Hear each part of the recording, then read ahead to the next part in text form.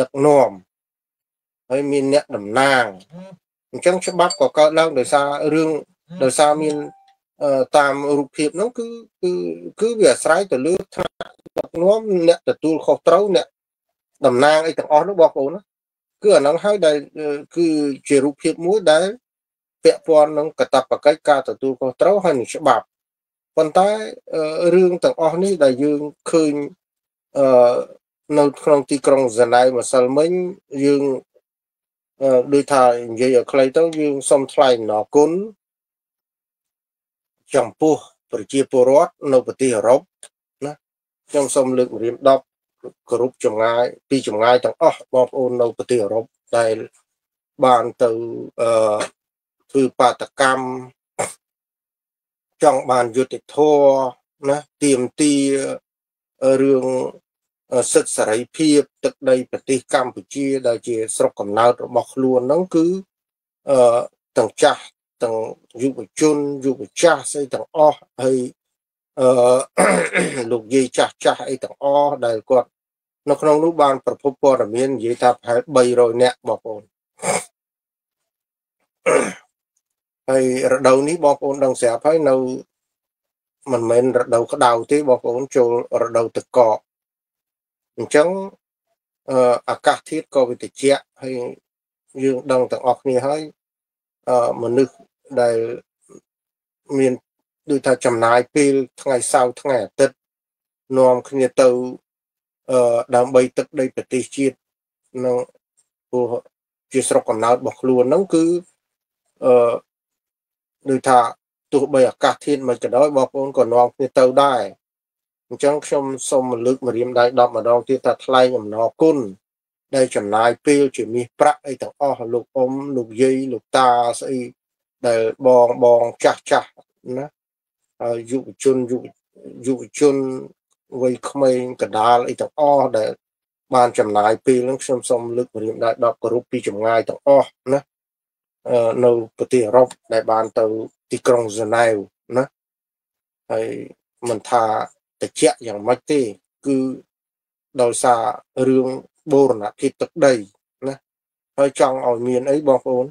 ការពារថែរក្សាដោយមានច្បាប់ត្រឹមត្រូវអញ្ចឹងហើយបានចំណាយពេលណាទាំងអស់នេះណាអញ្ចឹងខ្ញុំសូមឲ្យបងប្អូនទាំងអស់ណាដែលពាក់ព័ន្ធនឹងរឿង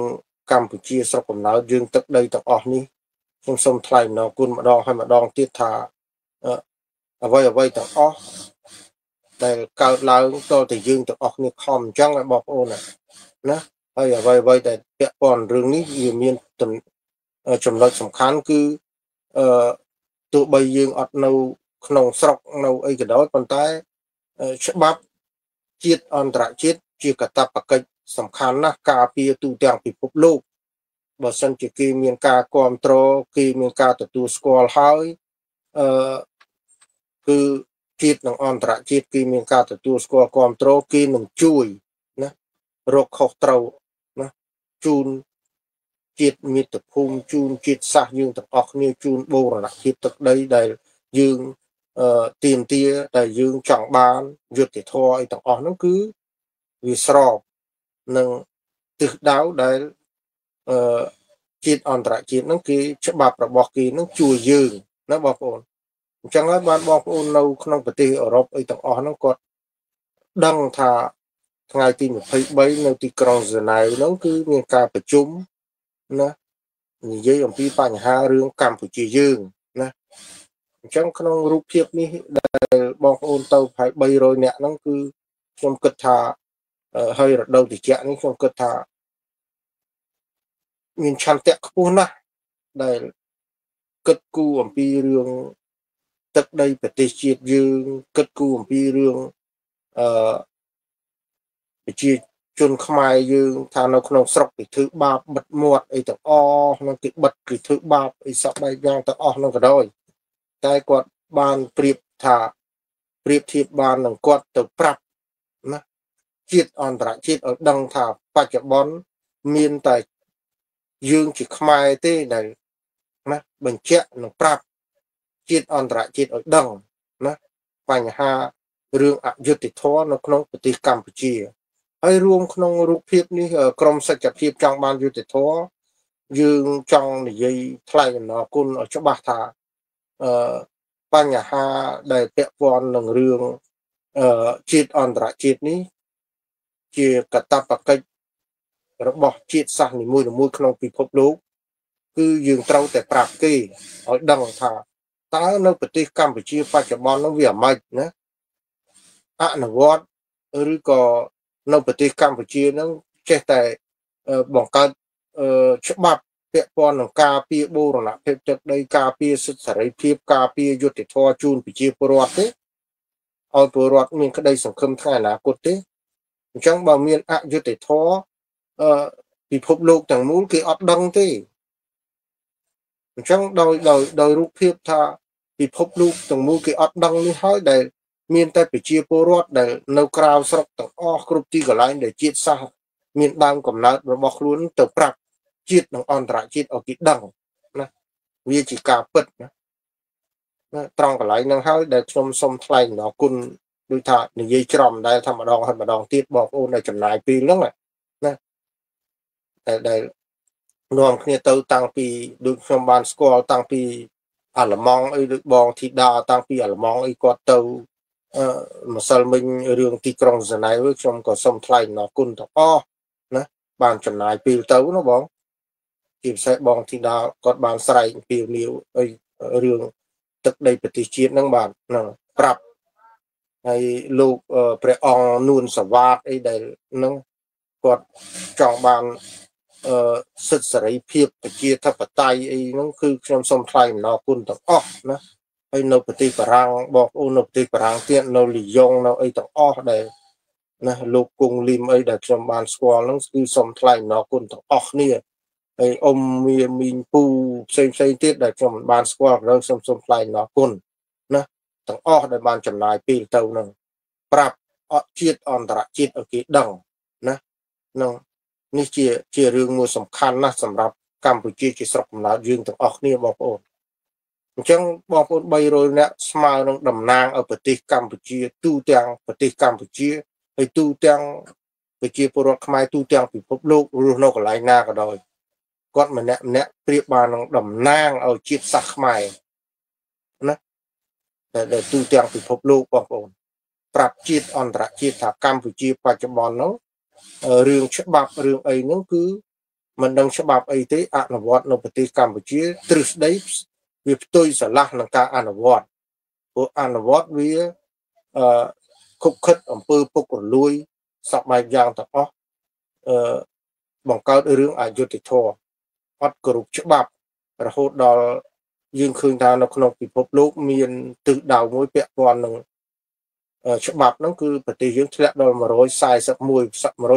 ប្រទេសយើង140លេខ141បងប្អូនណាហើយអញ្ចឹងត្រង់កន្លែងអស់ហ្នឹងហើយដែលជារូបភាពមួយអយុត្តិធម៌ធ្វើឲ្យមានរឿងកើតឡើងហើយពិភពលោកគេអត់ដឹងគ្រប់ប្រទេសទាំងអស់អត់ដឹងទេអញ្ចឹងមានតែប្រជាពលរដ្ឋយើងនៅក្រៅប្រទេសហ្នឹងនាំគ្នានេះដូចនៅហ្សឺណែវម្សិលមិញអញ្ចឹងរួមគ្នាទៅប្រាប់អញ្ចឹង ឲ្យដឹងថាបច្ចុប្បន្នកម្ពុជាវាវាវាអត់គោរពអីទាំងអស់វាវាអត់គោរពច្បាប់អីទាំងអស់វាអនុវត្តផ្ទុយឆ្លាស់ទាំងអស់អញ្ចឹងកើតរឿងអយុត្តិធម៌អញ្ចឹងចាប់ដាក់គុកចាប់អីធ្វើបាបមនុស្សដែលរស់នៅក្នុងប្រទេសកម្ពុជាហ្នឹងអឺសពបែបយ៉ាងទាំងអស់ហើយថាមានសន្តិភាពថាអីហ្នឹងគឺវាផ្ទុយឆ្លាស់ហ្នឹងអ្វីដែលការនិយាយ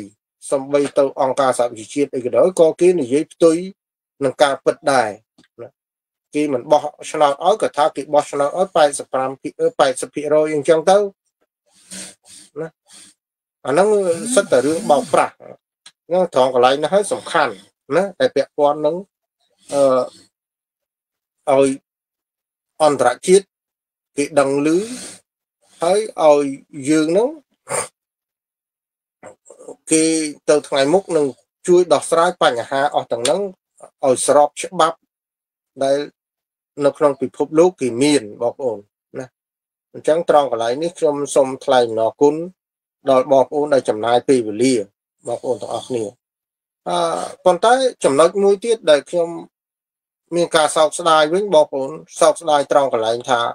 ពេលវេលាជាមាសប្រាក់ហើយអឺបើយើងនិយាយអំពីរឿង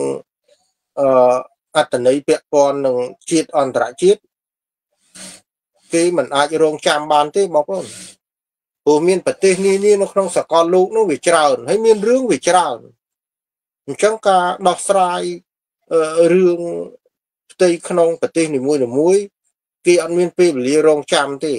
នៅពេលកម្ពុជាយើងគេថាហោះថ្ងៃទី23នឹងគេយកលើករឿងកម្ពុជាមកនិយាយ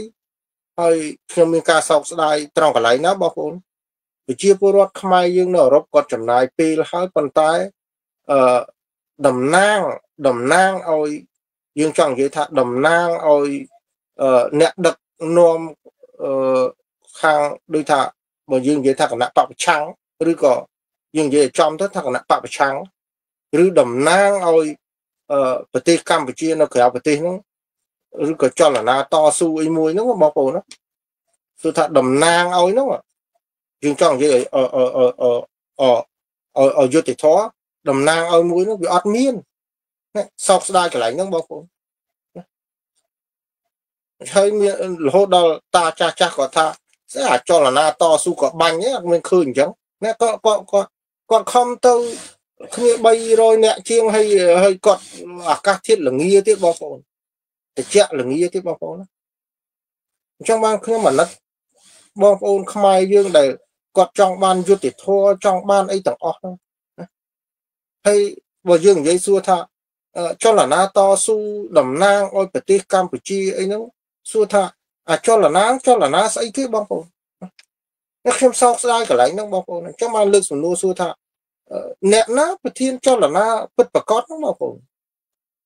បើយើងសួរសំណួរកន្លែងហ្នឹងព្រោះអឺ ពេលសួស្ដីបងសុសាតសួស្ដីអានីសាលីលូណាបាទសួស្ដីអឺលោកសច្ចៈសួស្ដីបាទហើយបងចន្ទរាវុធសួស្ដីបាទបាទបាទសួស្ដីបងជនរួមឈាមបាទបាទបាទសួស្ដីទាំងអស់គ្នាមកបាទអញ្ចឹងអាអាសំណួរចោទសួរត្រង់កន្លែងថាអឺយើងមិនមានអត្តន័យថាគេជឿជាក់ ក្រមសច្ចភាពចង់បានយុទ្ធធរហ្នឹងគេជឿជាក់យើង100%ទេបងប្អូនយើងហើយគ្មានណាគេចង់និយាយថាយើងនិយាយនេះក្នុងអត្តន័យយើងជាពលរដ្ឋខ្មែរជាជនជាតិខ្មែរមានដើមកំណើតនៅលើទឹកដីខ្មែរយើងចង់បានសេចក្តីសុខចង់ឲ្យមានច្បាប់ជាតិអន្តរជាតិមានការទទួលស្គាល់អញ្ចឹងលក្ខណៈពាក់ព័ន្ធនឹងអឺចង់បានការផ្លាស់ប្ដូរអីមួយ វាស្របនឹងច្បាប់មួយថាច្បាប់ជាតិនិងអន្តរជាតិដែលគេទទួលស្គាល់យើងមានរូបភាពពិតប្រាកដប៉ុន្តែផ្ទុយទៅវិញសំណួរយើងចោទសួរថា នៅពេលប្រជាពលរដ្ឋដឹងច្បាស់អំពីបញ្ហារឿងអឺគេគិតគូរអំពីបញ្ហាកម្ពុជាគាត់បាននាំគ្នាទៅទេបងប្អូនចុះបែជាអ្នកតំណាងឲ្យក្នុងកលៈទេសៈនោះអត់មានទៅវិញបងប្អូន ឬក៏អត់ដឹងទៅវិញខ្ញុំអត់យល់ដែរណារឿងទាំងអស់ហ្នឹងអញ្ចឹងសំណួរចោទសួរថាបង្កើតចលនាតស៊ូដើម្បីផ្លាស់ប្ដូរដើម្បីការពារថែរក្សាបូរណភាពទឹកដីដើម្បីការពារសិទ្ធិសេរីភាពប្រជាពលរដ្ឋខ្មែរសួរថាអ្នកតំណាងនៅទីណាអ្នកនិយាយថាចលនាតស៊ូនៅឯណាយើងសួរចេះបងប្អូនណាណា នៅពេលកលៈទេសៈគេយករឿងបញ្ហាកម្ពុជាយកមកពិភាក្សាយកមកដោះស្រាយណាហើយក្នុងពុកលៈទេសៈនោះគេមិនមែននិយាយយូរទៀតក្នុងរយៈពេល1ម៉ោង2ម៉ោងគ្រប់ប្រទេសទាំងអស់ក្នុងសកលលោកគេអង្គុយស្ដាប់រឿងបញ្ហាកម្ពុជាចុះអ្នកតំណាងនៅទីណាពេលវេលាជាមាសប្រាក់បងប្អូនគេមិនងាយ នឹងមានពេលលើកយករឿងកម្ពុជាមកនិយាយទេអញ្ចឹងបងប្អូនដែលគាត់ទៅធ្វើបាតកម្ម300នាក់នោះឃើញប្រៀបបាននឹងអត់ម៉ែអត់ឪអត់អីអញ្ចឹងទៅវាវាដូចជាអណោចអធមមកបងប្អូននៅខ្ញុំមានការសោកស្ដាយកន្លែងហ្នឹងបងប្អូនប៉ុន្តែអ្វីដែលពាក់ព័ន្ធនឹងខ្ញុំលើកម្រាមដៃដកគឺគោរពអ្នកដែលគាត់ចង់បានយុត្តិធម៌ចង់បានច្បាប់ជាតិអន្តរជាតិគេទទួលស្គាល់ចង់បាន ឲ្យគេដឹងឮរឿងអយុត្តិធម៌នៅកម្ពុជាខ្ញុំគោរពគាត់ណាព្រោះ300នាក់តំណាងឲ្យមនុស្សខ្មែរពេញសកលលោកតែគាត់ក្នុងរដូវរងាត្រជាក់នេះគាត់ទៅនាំគ្នារហូតដល់300នាក់គ្រប់ប្រទេសគ្រប់ខេត្តក្រុងទាំងអស់នៅទ្វីបអឺរ៉ុបបងប្អូនណាស្ទើរតែគ្រប់ខេត្តក្រុងទាំងអស់នៅទ្វីបអឺរ៉ុបគាត់ចំណាយពេលទៅបងប្អូនណាណាអញ្ចឹងអាចំណុចដែលពាក់ព័ន្ធនឹងរឿង បើយើងនិយាយទៅក្តីសង្ឃឹមថ្ងៃអនាគតសំណួរយើងចោទសួរថាបើកម្ពុជាយើង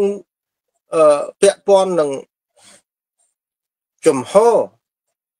មនុស្សដែលក្នុងនាមជាជាអ្នកដឹកនាំឬក្នុងនាមជាមនុស្សចាស់ចាស់ចំនួនមុនណាហើយបើសិនជាអឺគ្មានចំហច្បាស់លាស់សួរថាអ្វីអ្វីដែលពាក់ព័ន្ធនឹង ច្បាប់ជាតិអន្តរជាតិហើយប្រទេសមានអឺទូរភឹកឬក៏ប្រទេសកើតមានគេការឈ្លានពានអីសពបែបយ៉ាងទាំងអស់ទៅថ្ងៃមុខសួរថាឲ្យកូនចៅចំនួនក្រោយសង្ឃឹមនរណាគេបងប្អូនបើបើយើងក៏លេចឃើញមនុស្សចាស់ចាស់ដែលដែលដែលតំណាងឲ្យជាតិសាសរបស់យើងបើយើងនិយាយតាំងពីសេអនុមកចេះតែរំចេះតែច្រៀងចេះតែសបាយបើយើងនិយាយថា អឺសេអនុគេឲ្យឡើងសោយរាជតាំងពីអាយុ8ដងបើយើងនិយាយថាមនុស្ស8 10មនុស្សរៀននៅក្នុងថាមិនទាន់ចប់ស្គូលហ្នឹងបងប្អូនបើអ្នករៀនខ្សោយអត់មានចប់ស្គូលទេបងប្អូនបើអ្នករៀនបកាយអាចចប់ស្គូលហើយមនុស្សទៅចប់បើយើងនិយាយថាចប់ស្គូលបើយើងនិយាយថាមនុស្សទៅចប់ស្គូលមនុស្សមានដឹងបទពិសោធន៍ទេបងប្អូននឹងចេះតែញ៉ាយស្រីចេះតែធ្វើស្រីចេះតែ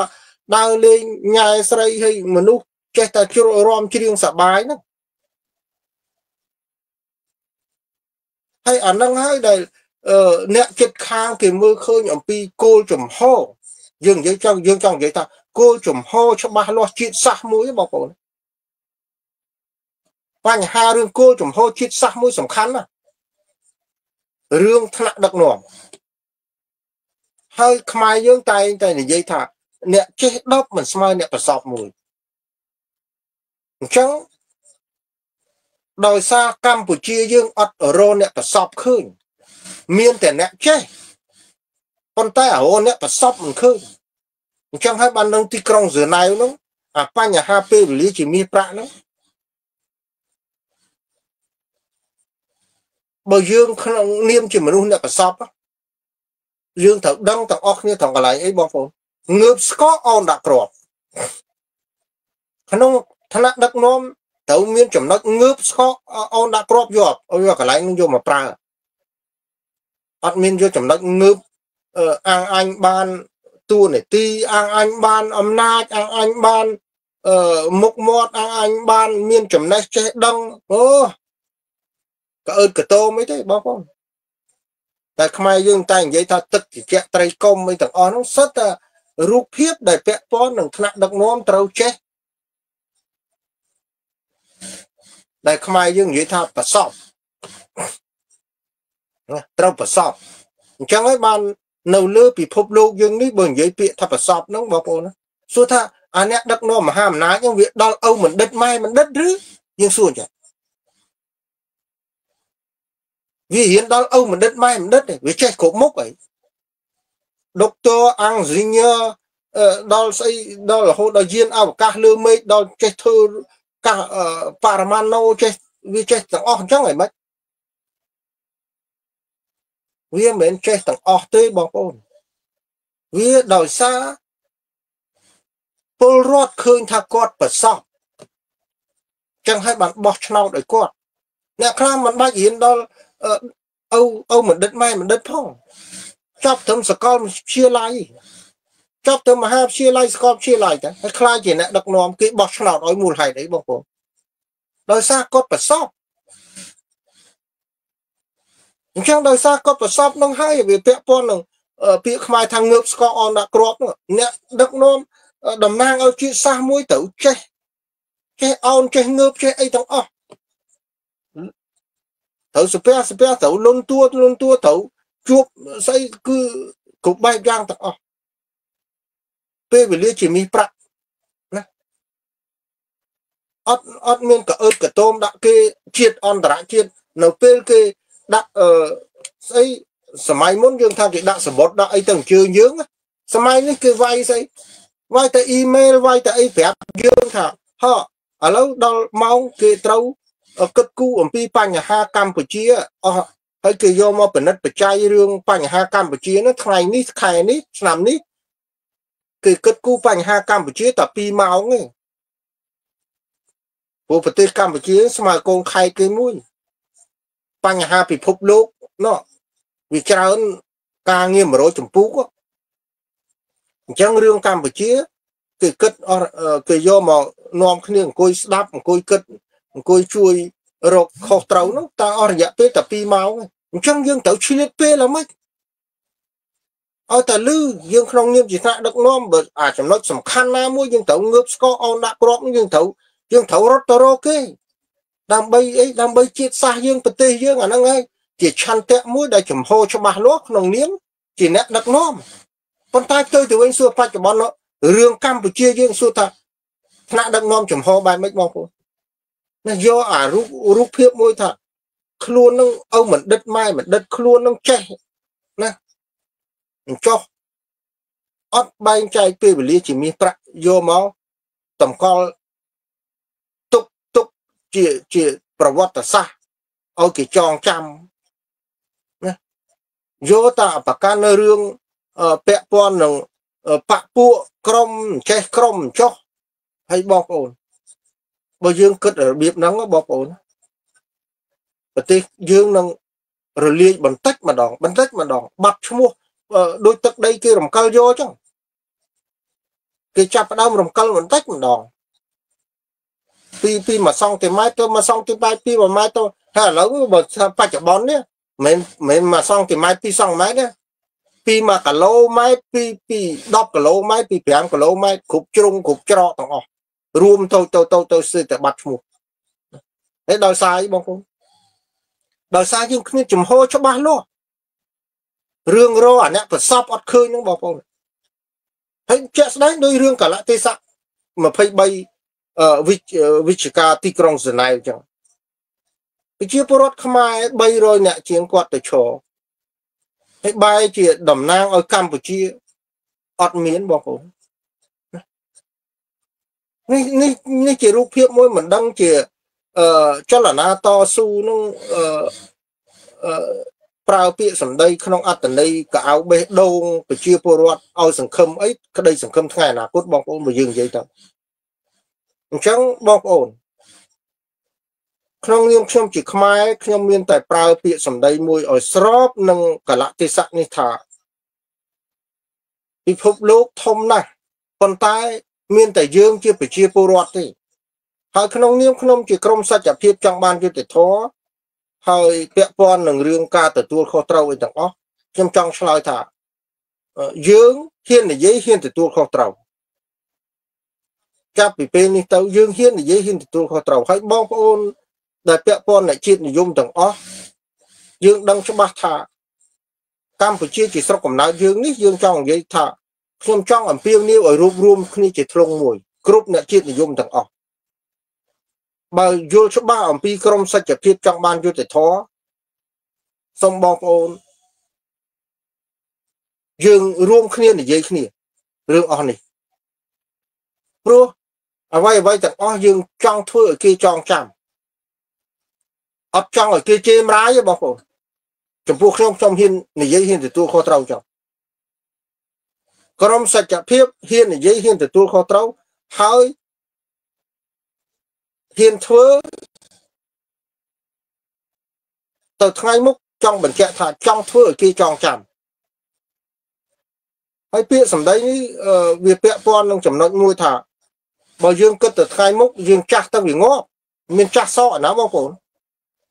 អញ្ចឹងខ្ញុំសូមអំពាវនាវអ្នកជាតិនិយមទាំងអស់ណារួមគ្នាជាមួយក្រុមសច្ចភាពយើងខ្ញុំណាយើងខ្ញុំហ៊ាននិយាយហ៊ានទទួលខុសត្រូវ ពិតណាស់គ្មានអ្នកណាគេស្គាល់ទេប៉ុន្តែពេលនេះយើងនិយាយឲ្យច្បាស់ណាអ្វីដែលពាក់ព័ន្ធនឹងការពិតណាខ្ញុំចង់បញ្ជាក់បងប្អូនប៉ុណ្ណឹងណាព្រោះទៅថ្ងៃមុខទៅយើងវាចាស់ទៅងាប់មានចាស់សក់ណាបងប្អូនទ្រព្យសម្បត្តិមានយកទៅតាមណាអញ្ចឹងត្រង់កន្លែងនេះខ្ញុំ ជាអ្នកទទួលខុសត្រូវក្រមសច្ចភាពខ្ញុំចង់បញ្ជាក់បងប្អូនជនរួមជាតិទូទាំងប្រទេសទូទាំងពិភពលោកពាក្យសម្ដីប៉ុណ្ណឹងអ្វីដែលក្រមសច្ចភាពចង់បានយុតិធធហើយចង់ការពារបូរណភាពទឹកដីចង់អឺធ្វើឲ្យមានយុតិធធនិងសេរីភាពអីទាំងអស់នេះយើងហ៊ាននិយាយហ៊ានទទួលខុសត្រូវហើយពាក្យសម្ដីនេះប្រហែលជាមានអត្ថន័យគ្រប់គ្រាន់ចំពោះបងប្អូនទាំងអស់ដែល ក្នុងនាមជាសិស្សអនុសិទ្ធបញ្ញវន្តអីមួយចំនួនបើបងប្អូនអឺបានស្ដាប់បងប្អូនពិចារណាអ្វីដែលខ្ញុំនិយាយផងព្រោះ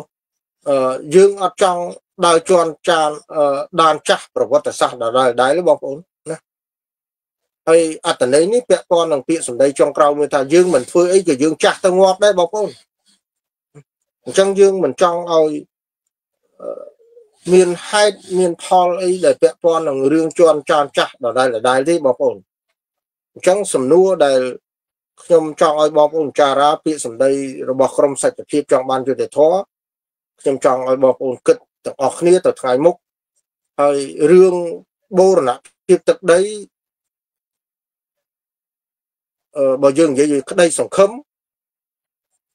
ទៅថ្ងៃមុខមានតែយើងទាំងអស់គ្នាជាពលរដ្ឋទាំងអស់គ្នា ហើយអ្នកជាតិនិយមទាំងអស់គ្នាសហការគ្នាជាធ្លុងមួយណាដែលយើងរកមនុស្សដែលពាក់ព័ន្ធនឹងស្មោះត្រង់ឆន្ទៈណារួមនឹងភាពស្មោះត្រង់ឆន្ទៈនេះហើយដែលធ្វើឲ្យយើងអាចការពារបូរណភាពទឹកដីយើងបានហើយរួមនឹងជាតិសាសន៍វប្បធម៌អរិយធម៌ទាំងអស់ បន្តវេនការពារថែរក្សាណាបងប្អូននឹងមានចំណុចដែលយើងត្រូវតែធ្វើណាហើយដោយសារ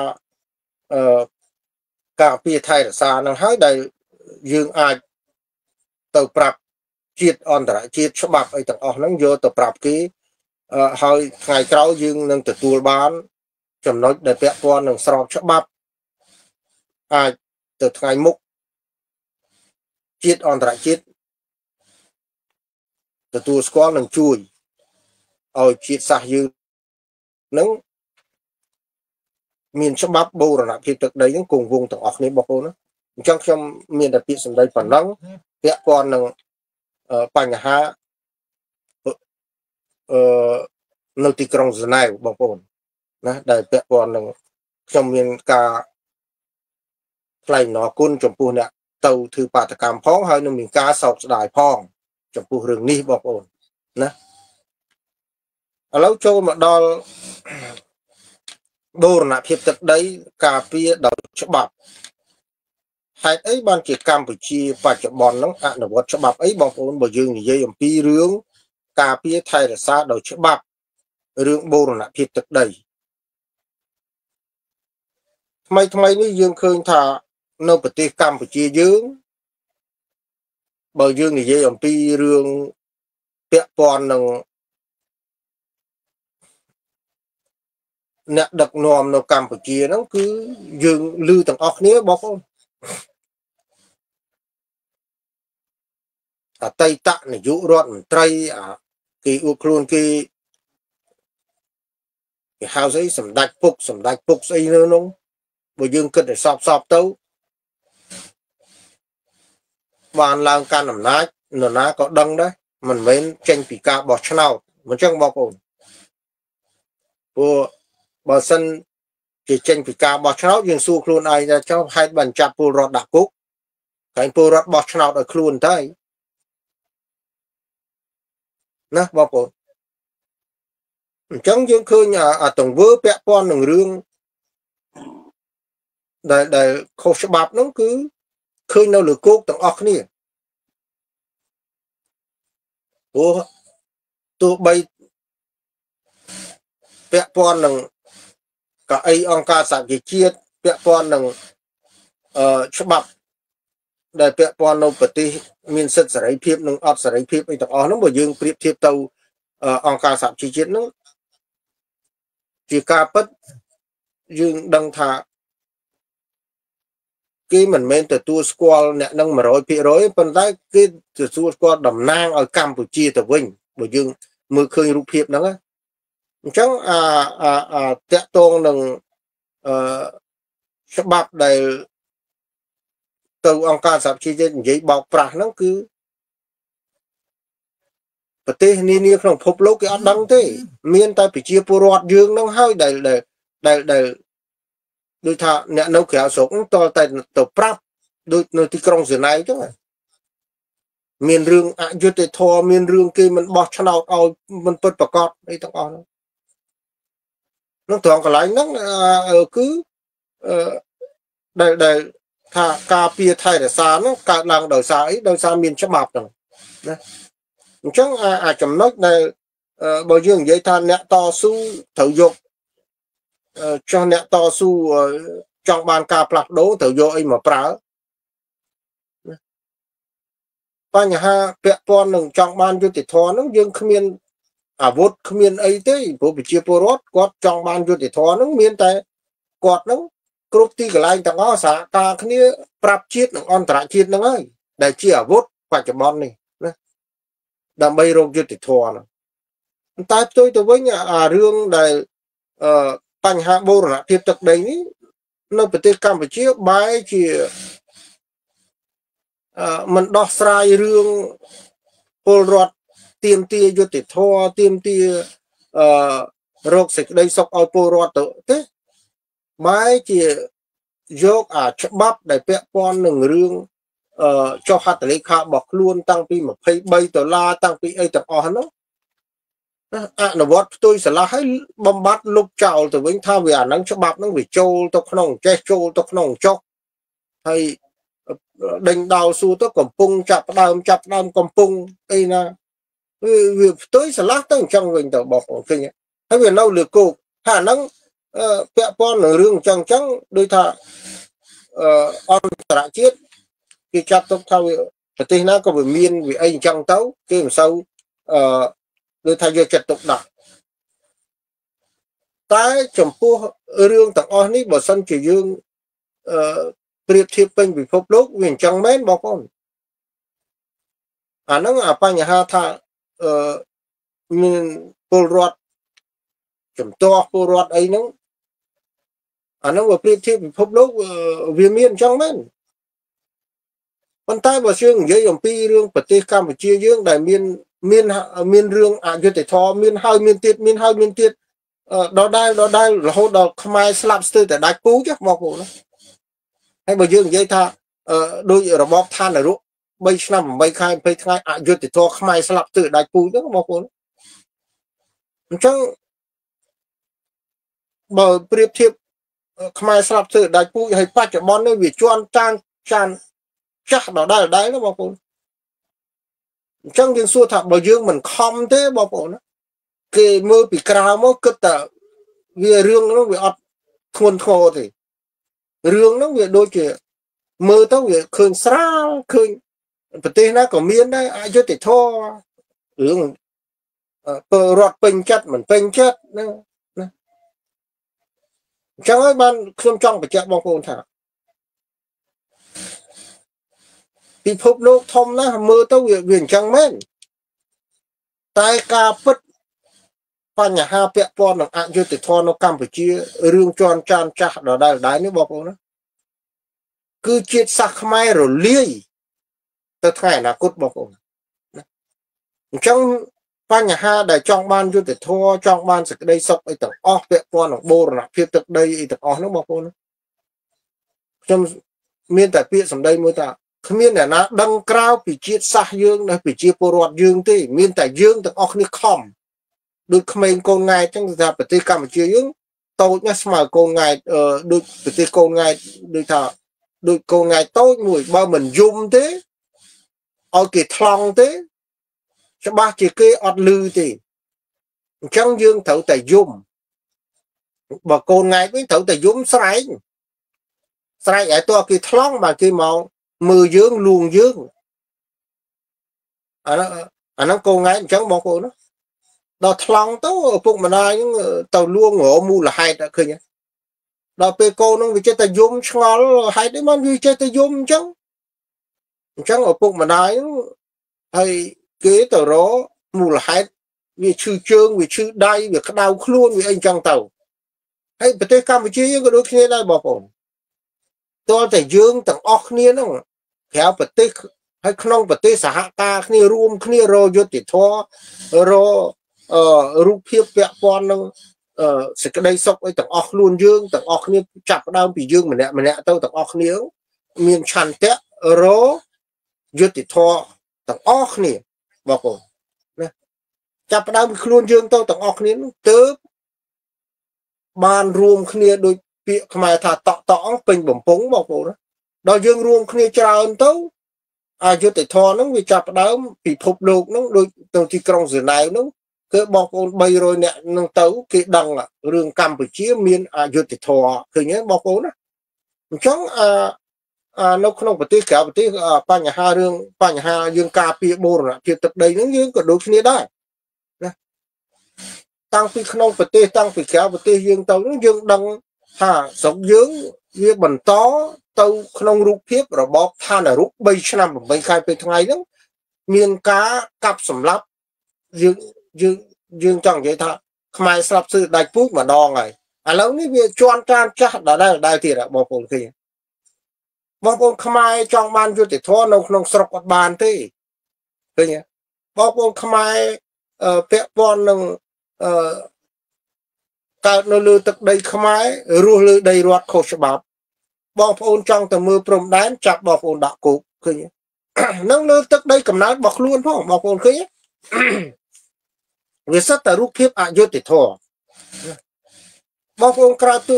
ក្រោយ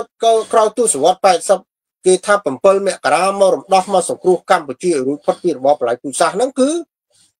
បើយើងប្រៀបធៀបអាមករំដោះហើយឥឡូវនេះមកចាប់គាត់ដាក់គុកហ្នឹងសួរថាធំ មករមករំដោះក៏បាញ់យកអីបើបើបើឲ្យគ្នាធំធាត់ឲ្យចាប់គ្នាដាក់គុកវិញដែរឡងដេញគ្នាប្រត់ប្រាស់ពីស្រុកទេសហ្នឹង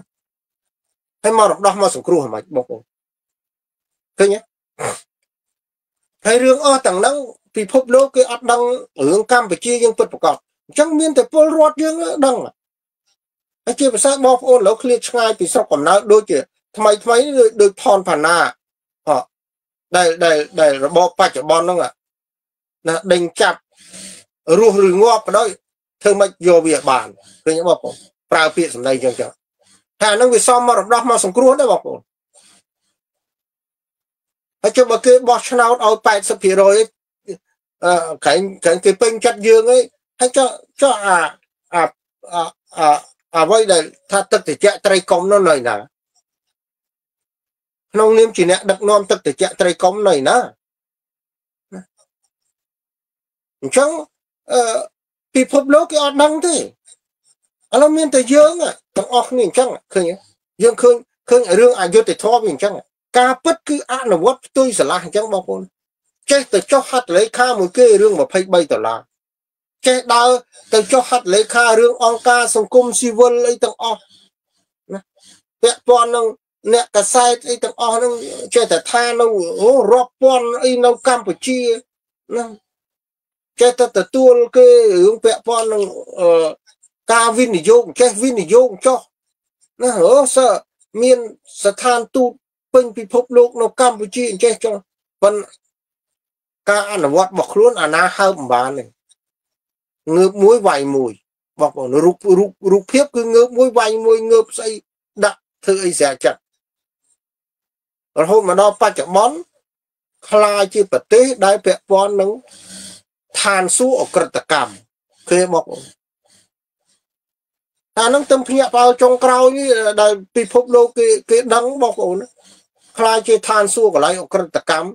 មេម៉ាហ្វៀខ្លាយជាទីប្រឹក្សាបងប្អូនគិតមើល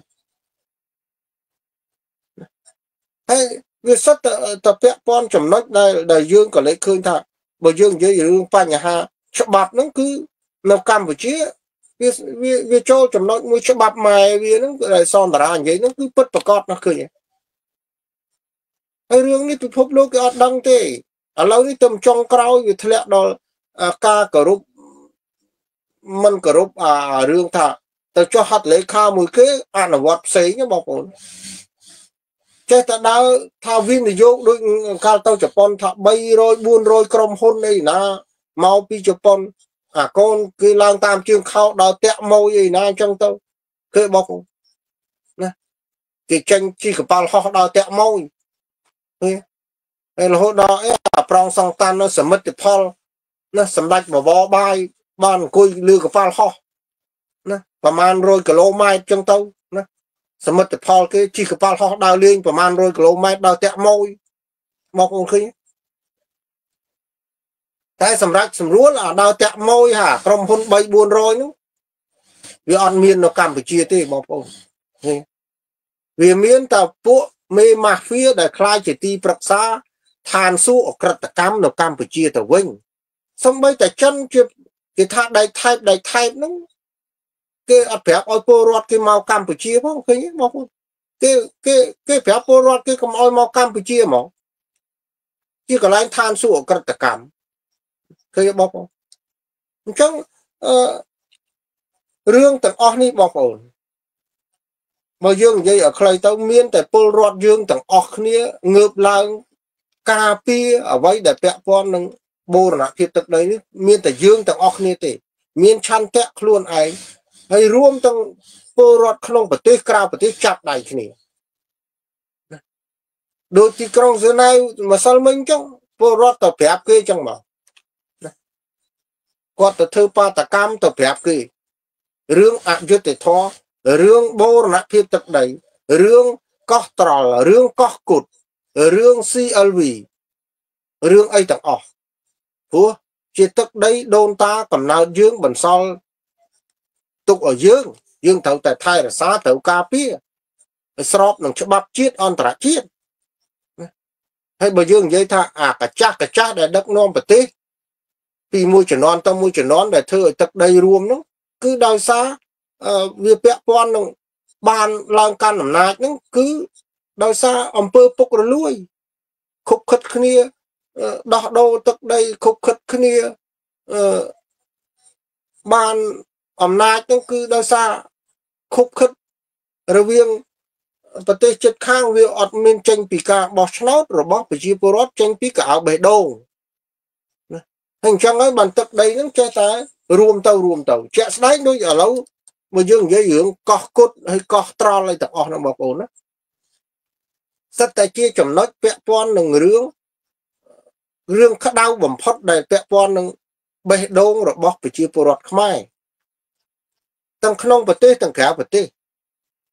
ព្រោះជាទឹកដីដែលបន្សល់ពីដូនតាបង្ហូរឈាមសាច់ស្រស់ឈាមស្រស់បង្ហូរឈាមរបស់គាត់បន្សល់ឲ្យទុកឲ្យកូនចៅជំនាន់ក្រោយហើយបើយើងប្រៀបធៀបរឿងប្រវត្តិសាស្ត្រទៀតទឹកដីប្រទេសកម្ពុជាបានអឺសល់រហូតមកដល់បច្ចុប្បន្ននេះគួរតែជពះបាតជើងប្រទេសបារាំងទៅណា ព្រោះដោយសារព្រះបាទអង្គឌួងបានទៅពឹងបារាំងហ្នឹងហើយបានសល់ទឹកដីប្រទេសកម្ពុជារហូតដល់បច្ចុប្បន្នហ្នឹងអាហ្នឹងយើងគួរជពះបាតជើងបារាំងទៅហើយប៉ុណ្ណឹងហើយអាកាចាស់កាចាស់ដែលដឹកនាំប្រទេសតក្រោយមកទៀតបើយើងនិយាយថាពួកអាដឹកនាំអាកាចាស់កាចាស់និយាយអាក្រក់ចឹងមកអាយុទ្ធឲ្យអសិលធម៌ចឹងមកមកពាក្យថាអឺ ការពារថែរក្សាហ្នឹងវាអត់មានណាបងប្អូនបន្តវេនការពារថែរក្សាហ្នឹងវាអត់មានវាមានតែបន្តវេនកំតិចបន្តវេនដោះដូរបន្តវេនណាចំណាយកំតិចដើម្បីរក្សាអំណាចទៅវិញហើយជាភាសាបច្ចុប្បន្នហ្នឹងតែម្ដងខុបខិតគ្នាអំពើពុករលួយបន្ត ប្រទេសគេនានាក្នុងពិភពលោកក្នុងសកលលោកគេបន្តវេនថែរក្សាគេបន្តវេនការពារហើយការពារនោះគឺស្របកើតឡើងដោយដោយច្បាប់ពិតប្រាកដហើយកម្ពុជា បន្តវេនកំតិចបងប្អូនវាវាឃើញតែចង់ឥឡូវហ្នឹងជាភាសាគឺបច្ចុប្បន្នតែម្ដងបងប្អូនបើយើងនិយាយយើងមិនអង្គុយចេះតែអង្គុយព្រុសទេបងប្អូន បើយើងប្រៀបយើងនិយាយលើកយកកោះត្រល់មកបើយើងសួរថាកោះត្រល់បាត់ចំនួនណាយើងយើងអាចនិយាយបានទេរឿងបញ្ហាពាក់ព័ន្ធនឹងបារាំងនៅឆ្នាំដូចថាពាក់ព័ន្ធទឹកដីកម្ពុជាក្រោមដែលដែលការគ្រប់គ្រងណានឹងរឿងរបស់សេអនុទេដែលត្រូវទៀមទីពាក់ព័ន្ធរឿងហ្នឹង ប៉ុន្តែបើយើងនិយាយថាអ្នកដឹកនាំត្រូវបន្តវេនការពារថែរក្សាវាជាកតបកិច្ចនឹងការទទួលខុសត្រូវវាត្រូវតែបន្តវេនថែរក្សាមិនមែនបន្តវេនកាត់ទឹកដីឲ្យគេទេណាអញ្ចឹងអឺប្រាំងប្រាំងបានការពារបើយើងនិយាយថាព្រះបាទអង្គឌួងបានពឹងប្រាំងប្រាំងបានអឺការពារក្រោយសង្គ្រាមលោកលើកទី2អីទាំងអស់ហ្នឹងគេអឺដូចថាការពារ បន្សល់ពូជសាសបន្សល់ទឹកដីឲ្យប៉ុណ្ណឹងយើងត្រូវបន្តវេនថែរក្សាហ្នឹងវាជាជារឿងចាំបាច់របស់ខ្មែរទាំងអស់គ្នាទូទាំងពិភពលោកតែអាអ្នកដឹកនាំតតមកហ្នឹងវាអត់មានអាយកពាក្យការពារថែរក្សាហ្នឹងអ្វីដែលមានហ្នឹងវាអត់វាអត់យកទៅពិធី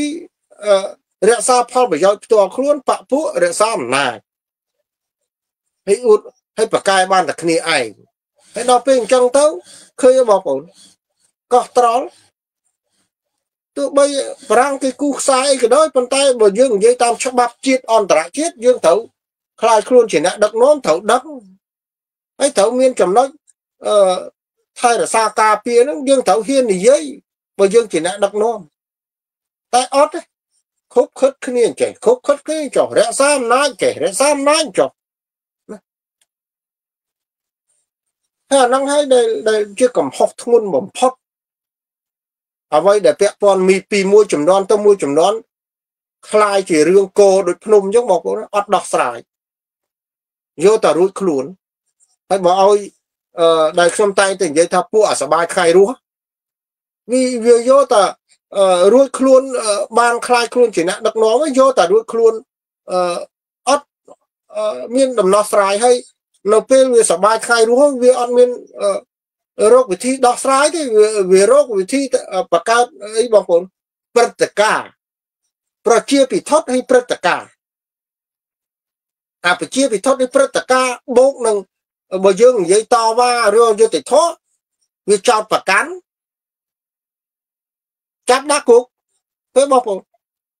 វាអត់មានវិរោវិធីដំណោះស្រាយអត់ឃើញទេ អញ្ចឹងតាំងពីជំនាន់សេអនុវិកោតាំងពីនឹងមកហើយមកដល់អឺបច្ចុប្បន្នហ្នឹងរូបភាពពាក់ព័ន្ធនឹងការពារថែរក្សាហ្នឹងគឺអត់មានហ្មងយកអាពាក្យសម្ដីការពារថែរក្សាទៅដាក់អាបជាទៅដាក់ត្រង់កន្លែងហ្នឹងគឺដាក់បជាពិធឲ្យព្រឹត្តិការណ៍ទៅវិញអាការពារកន្លែងការពារកន្លែងថែរក្សាហ្នឹងគឺយកពាក្យសម្ដីប្រជាពិធហើយនឹង ព្រឹត្តិការណ៍ដាក់កន្លែងហ្នឹងគឺបងប្អូនវាលុកលុកអាពាកការពារថែរក្សានោះបាត់អស់លីងអញ្ចឹងបងប្អូនហើយហើយហើយហើយហើយចំណុចអស់នេះហើយដែលអឺជាជារឿងមួយដែលយើងឃើញទាំងអស់គ្នាថាអឺ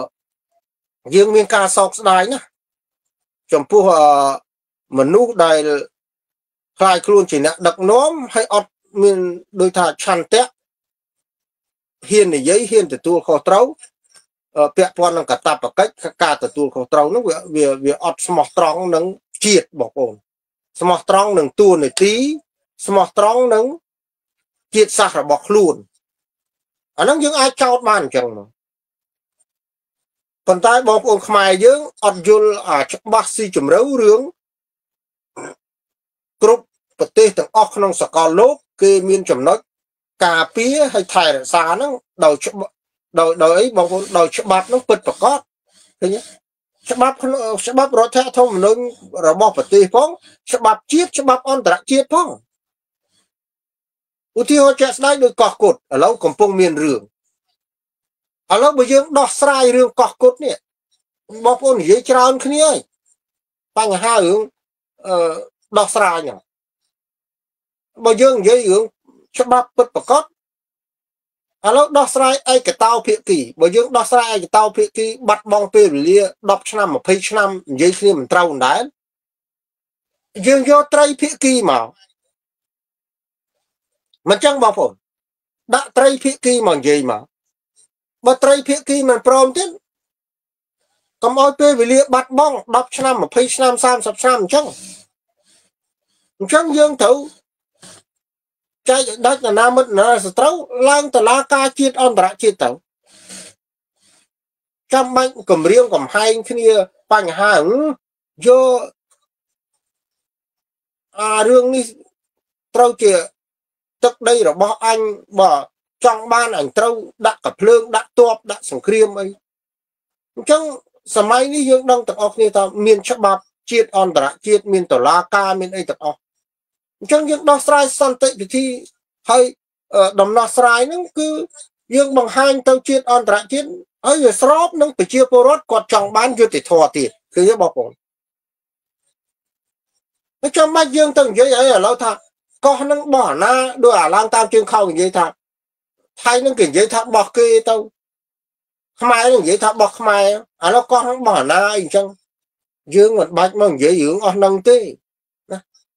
មិនបាច់មកលោឡាខ្វែងដៃខ្វែងជើងអឺចំណាយពេលជាមាសប្រាក់នឹងឲ្យបាត់បង់ទេក្នុងនាមរបស់យើងជាអ្នកដឹកនាំពិតប្រកបដែលតំណាងឲ្យជាតិសាសន៍មួយពិតប្រកបហើយស្របនឹងពាក្យថាការពារថែរក្សាហ្នឹងហើយពេលវេលាកុំឲ្យបាត់បង់យើងធ្វើតាមទិសដៅដែលពាក់ព័ន្ធនឹងច្បាប់ហ្នឹងទៅអូទី1ដោះស្រាយតាម រូបភាពពាក់ព័ន្ធនឹងរឿងឯកតោភាគីនិយាយគ្នាមិនត្រូវត្រីភាគីត្រីភាគីនិយាយគ្នាមិនត្រូវឡើងតឡាការទៅវាចប់បាត់តាតឡាការពិភពលោកដែលពាក់ព័ន្ធនឹងរឿងហ្នឹងឲ្យគេគុណគូកាត់ក្តីឲ្យទៅរឿងទាំងអស់ហ្នឹងវាចប់បាត់បោះណាណាកោះគុតហ្នឹងណាហើយមានផោះតាំងដែលយើងក្នុងរូបភាពពីសម័យកាលណាមក គូសផែនទីពាក់ព័ន្ធនឹងរឿងហ្នឹងណាយកមកបញ្ជាក់ជាផោះតាំងជាក់ស្ដែងឲ្យតឡាការឲ្យផ្ដល់ឲ្យតឡាការគេទៅរឿងហ្នឹងវាចប់បាត់ទៅហើយវាវាអត់មានចំណុចណាយើងមកមកអង្គុយស្រែក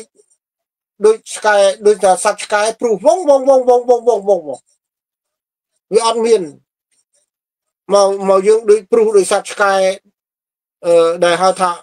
អត់មានសត្វអីហងដេកយសពព្រុសបងប្អូនអញ្ចឹងគាត់ថាត្រង់កន្លែងហ្នឹងដែលខ្ញុំចង់បញ្ជាក់សាសនាសិទ្ធបញ្ញវន្តពលរដ្ឋអីទាំងអស់ឲ្យច្បាស់តែផ្ទុយទៅវិញនៅកម្ពុជាវាមិនអញ្ចឹងបងប្អូនណារក្សាអំណាចវាយកតែរឿងពាក្យសម្ដីពីរម៉ាត់ដូចខ្ញុំនិយាយថា ប្រជាពិធដ្ឋហើយនឹងព្រឹត្តិការណ៍ បើរក្សាអំណាចបានដោយសារបង្កើតប្រជាពិធដ្ឋនិងព្រឹត្តិការណ៍ហើយអានោះហើយដែលនាំឲ្យមានរឿងអឺ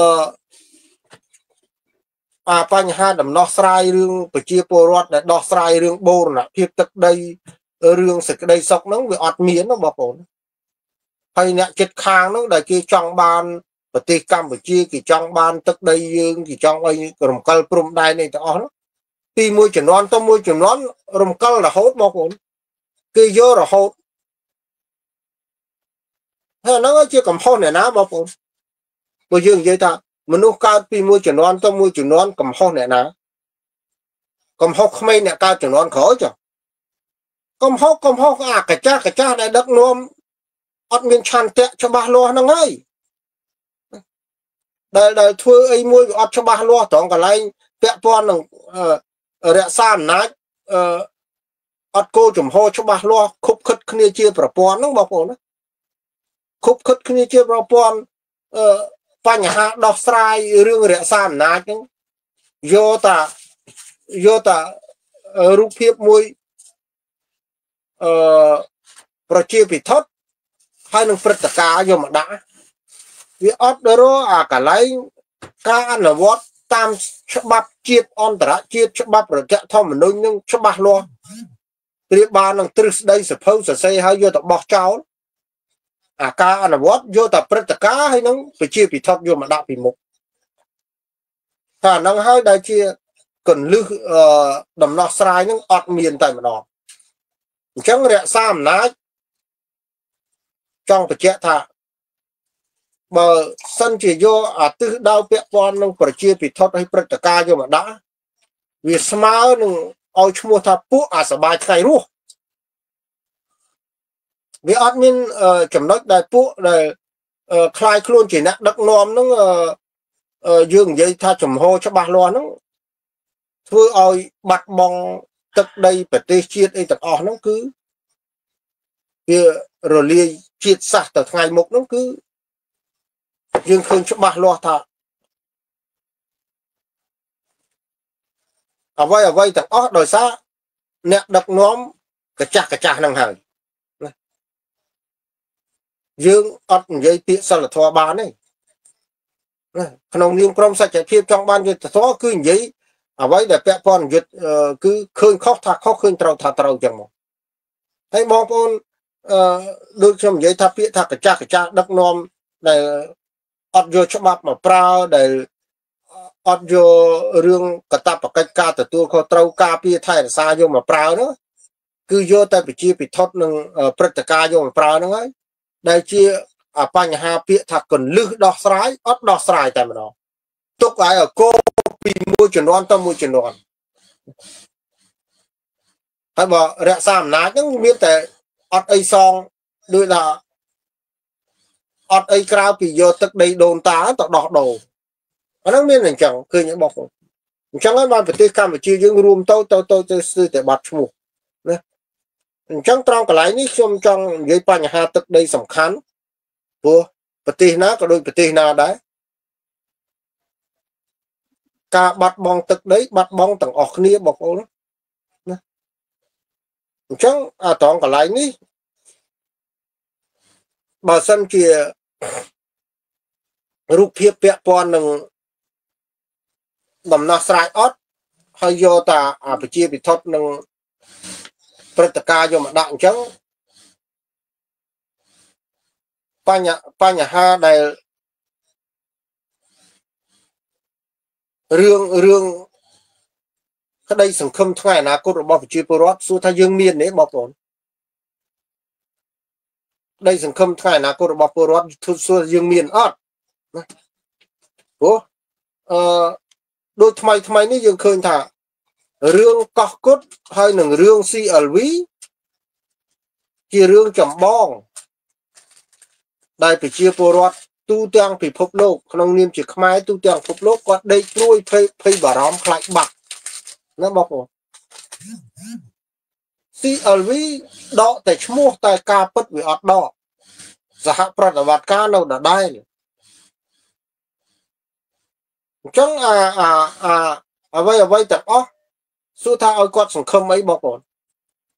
ការបាត់បង់វានៅតែភ័យព្រួយបាត់បង់ដដែលហ្នឹងហើយដូចរឿងស៊ីដូចរឿងកោះគុជកោះគុជនោះអញ្ចឹងបើយើងនិយាយការពិតទៅ បើសិនជាកោះគុជនោះថា2ភាគ3របស់ខ្មែរដែរណានៅក្នុងនោះកោះគុជជាទឹកដីរបស់ខ្មែរថារហូតដល់2ភាគ3ដល់ចុះបើ2ភាគ3អារឿងកោះគុជនោះហេតុអីបានទេសចរហេតុអីបងប្អូនមួយចំនួន ដែលពាក់ព័ន្ធនឹងចង់ទៅលេងទីនោះហើយដែលចាំបាច់សុំវីសាទៅប្រទេសថៃវិញបងប្អូនចង់ចូលកោះគុតត្រូវសុំវីសាប្រទេសថៃ ចុះបើកោះគុតនឹងជាទឹកដីរបស់ខ្មែរដែរចាំបាច់សុំវីសាទៅអីកោះគុតនឹងបើថាហកពាក់កដាលរបស់ខ្មែរពាក់កដាលរបស់ថៃយើងចង់និយាយអញ្ចឹងបងប្អូនឧទាហរណ៍ណាពាក់កដាលរបស់ខ្មែរពាក់កដាលរបស់ថៃហើយយើងចង់ទៅកោះគុតយើងចាំបាច់សុំវីសាអីបងប្អូនយើងទៅត្រឹមទឹកដីយើងតាហើយបើបើបើរូបភាពជាទូទៅឥឡូវនេះចង់ទៅកោះគុត តទៅសុំវីសាបោះបោះបោះណាបោះថៃសិនបានចូលកោះគុតបានហើយសហើយបើមើលមើលពីលើទៅអារូបភាពពាក់ព័ន្ធនឹងរឿងហ្នឹងសួរថាកោះហ្នឹងកោះរបស់ខ្មែរចាបកបោះខ្មែរចាំបាច់សុំវីសាធ្វើស្អីយើងសួរអញ្ចឹងថាឥឡូវថ្មីថ្មីនេះដល់ឡើងតាមជើងខោវាថាឥឡូវនោះរដ្ឋាភិបាលកំពុងតែដោះស្រាយកំពុងតែ ចាប់ផ្ដើមរហូតដល់អាមេចៅទេវានិយាយអញ្ចឹងដូចគ្នាអញ្ចឹងកំពុងដោះស្រាយកំពុងគឺកំពុងតែរកវិធីដោះស្រាយហើយកន្លែងត្រួតស៊ីគ្នាមិនត្រួតស៊ីគ្នាអីហ្នឹងបងឥឡូវមិនបាច់និយាយរឿងត្រួតស៊ីគ្នាត្រួតស៊ីគ្នាគឺយើងគ្រាន់ទីហោសាមញ្ញមួយដែលពាក់ព័ន្ធទេសចរ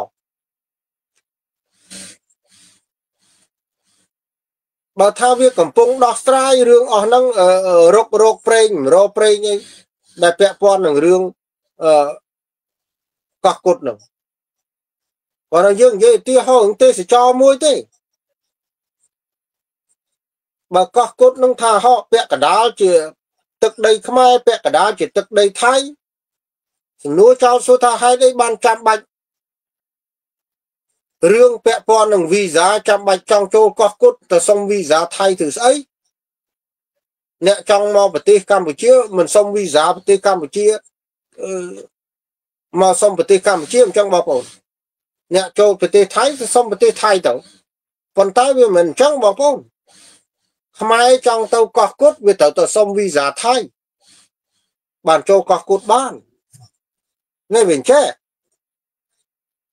ហើយថៃគឺគឺចង់ចូលកោះគុតគឺអត់មានមកសុំវីសាខ្មែរណាឃើញ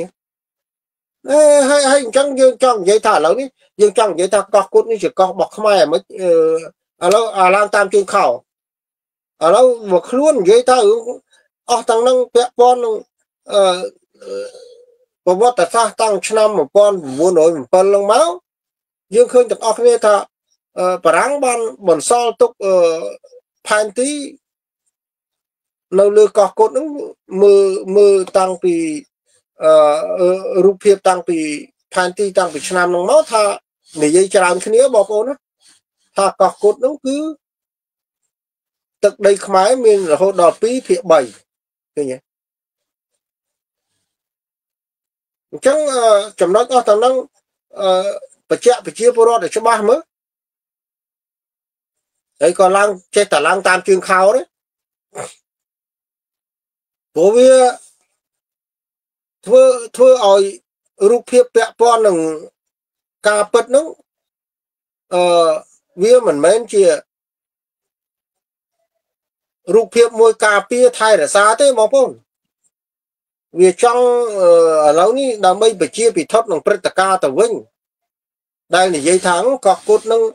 ឥឡូវនឹងថៃគេនិយាយថាបោះគេតែគេអត់មានមកជួបនិយាយជាមួយស្អី ទល់មុខជាមួយខ្លួនអីណាហើយហេតុអីបានគេថារដ្ឋាភិបាលគេស្ងាត់នឹង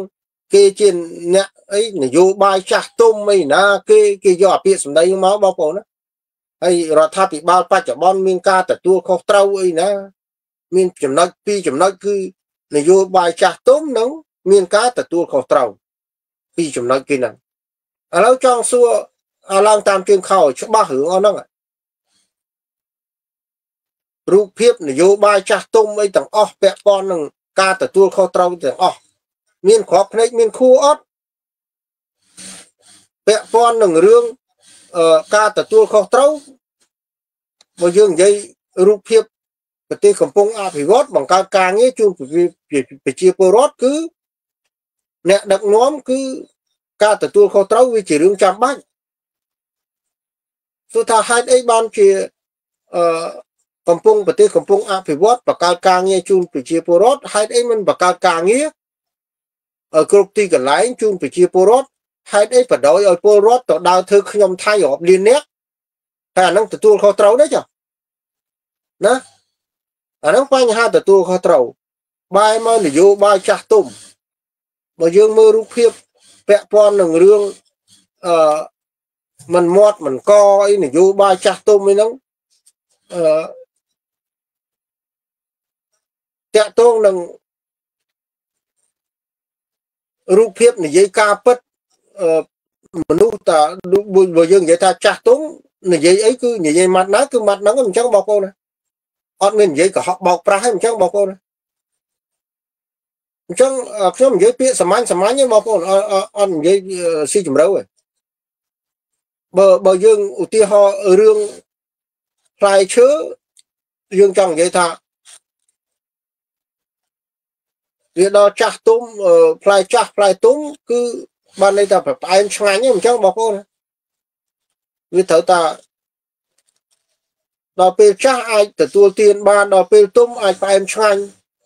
ចុះនយោបាយចាស់ទុំខ្លួនឯងសន្យាស្អីទាំងអស់ដែលពាក់ព័ន្ធនឹងការពិតហ្នឹងសួរថាធ្វើដូចដូចពាក្យថាផ្លែឈើផ្អែមឆ្ងាញ់ទេយើងយើងយើងថាជំនាន់ឪយើង ត្រីកោនអីប្រើច្បាប់ក្នុងរូបភាពត្រីកោនចតុកោនហើយដល់ពេលយើងអីបញ្ចកោនហើយមិនត្រឹមប៉ុណ្ណឹងឯងបដិញ្ញាចិត្តទៀតរូបភាពចាស់ទុំនេះឯងហ្នឹងអ្វីដែលពាក់ព័ន្ធនឹងនឹងចាស់ទុំហ្នឹងហើយអ្វីដែលយើងនិយាយអឺរូបភាពដែលយើងថាយើងចាស់ទុំនឹងទៀតបើយើងនិយាយរឿងពាក់ព័ន្ធច្បាប់យើងបដិញ្ញាចិត្តទៀត រឿងដីធ្លីអីក៏ដោយបដិញ្ញាចិត្តដោះស្រាយហើយចុះបញ្ហារឿងបដិញ្ញាចិត្តដោះស្រាយហ្នឹងអាអាពលរដ្ឋដែលពាក់ព័ន្ធនឹងរឿងអឺចោតគាត់រស់លើដីរដ្ឋខុសច្បាប់ដុតផ្ទះគាត់ចោលចាប់គាត់ដាក់គុកអីមានគ្រាប់ភ្នែកមានខួរឃើញនយោបាយចាស់ទុំអាបញ្ហាខ្មែរអឺ គាត់ណាមើលព្រំដែននេះចាប់ដាក់គុកនឹងមានគ្រាប់ភ្នែកមានខួរមើលទេនយោបាយចាស់ទុំពាក់ព័ន្ធនឹងបរទេសចិត្តខាងដែលឪខ្លួនឯងនិយាយថាគ្មានបរទេសណាស្រឡាញ់ខ្មែរជាងខ្មែរនោះហើយឥឡូវតាមព្រំដែនអីដែល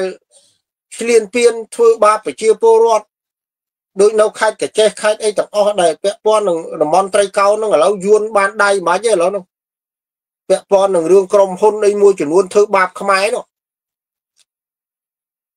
នយោបាយចាស់ទុំមានក្របភ្នែកមានខួរតែត្រូវដំណោះស្រាយជូនប្រជាពលរដ្ឋនោះហើយបើយើងមិនបាច់និយាយដល់ដាក់ដាំអីទេដែលដែលយួននាំគ្នាមកដែលដែលដែលឪខ្លួនឯងដោះដូរទឹកដីដើម្បីរក្សាអំណាចនោះបង្កើតកងត្រាក្បត់ប្រជាពលរដ្ឋកម្ពុជានោះ ដីសង់ប្រទានសេដ្ឋកិច្ចកងត្រា99ឆ្នាំនោះ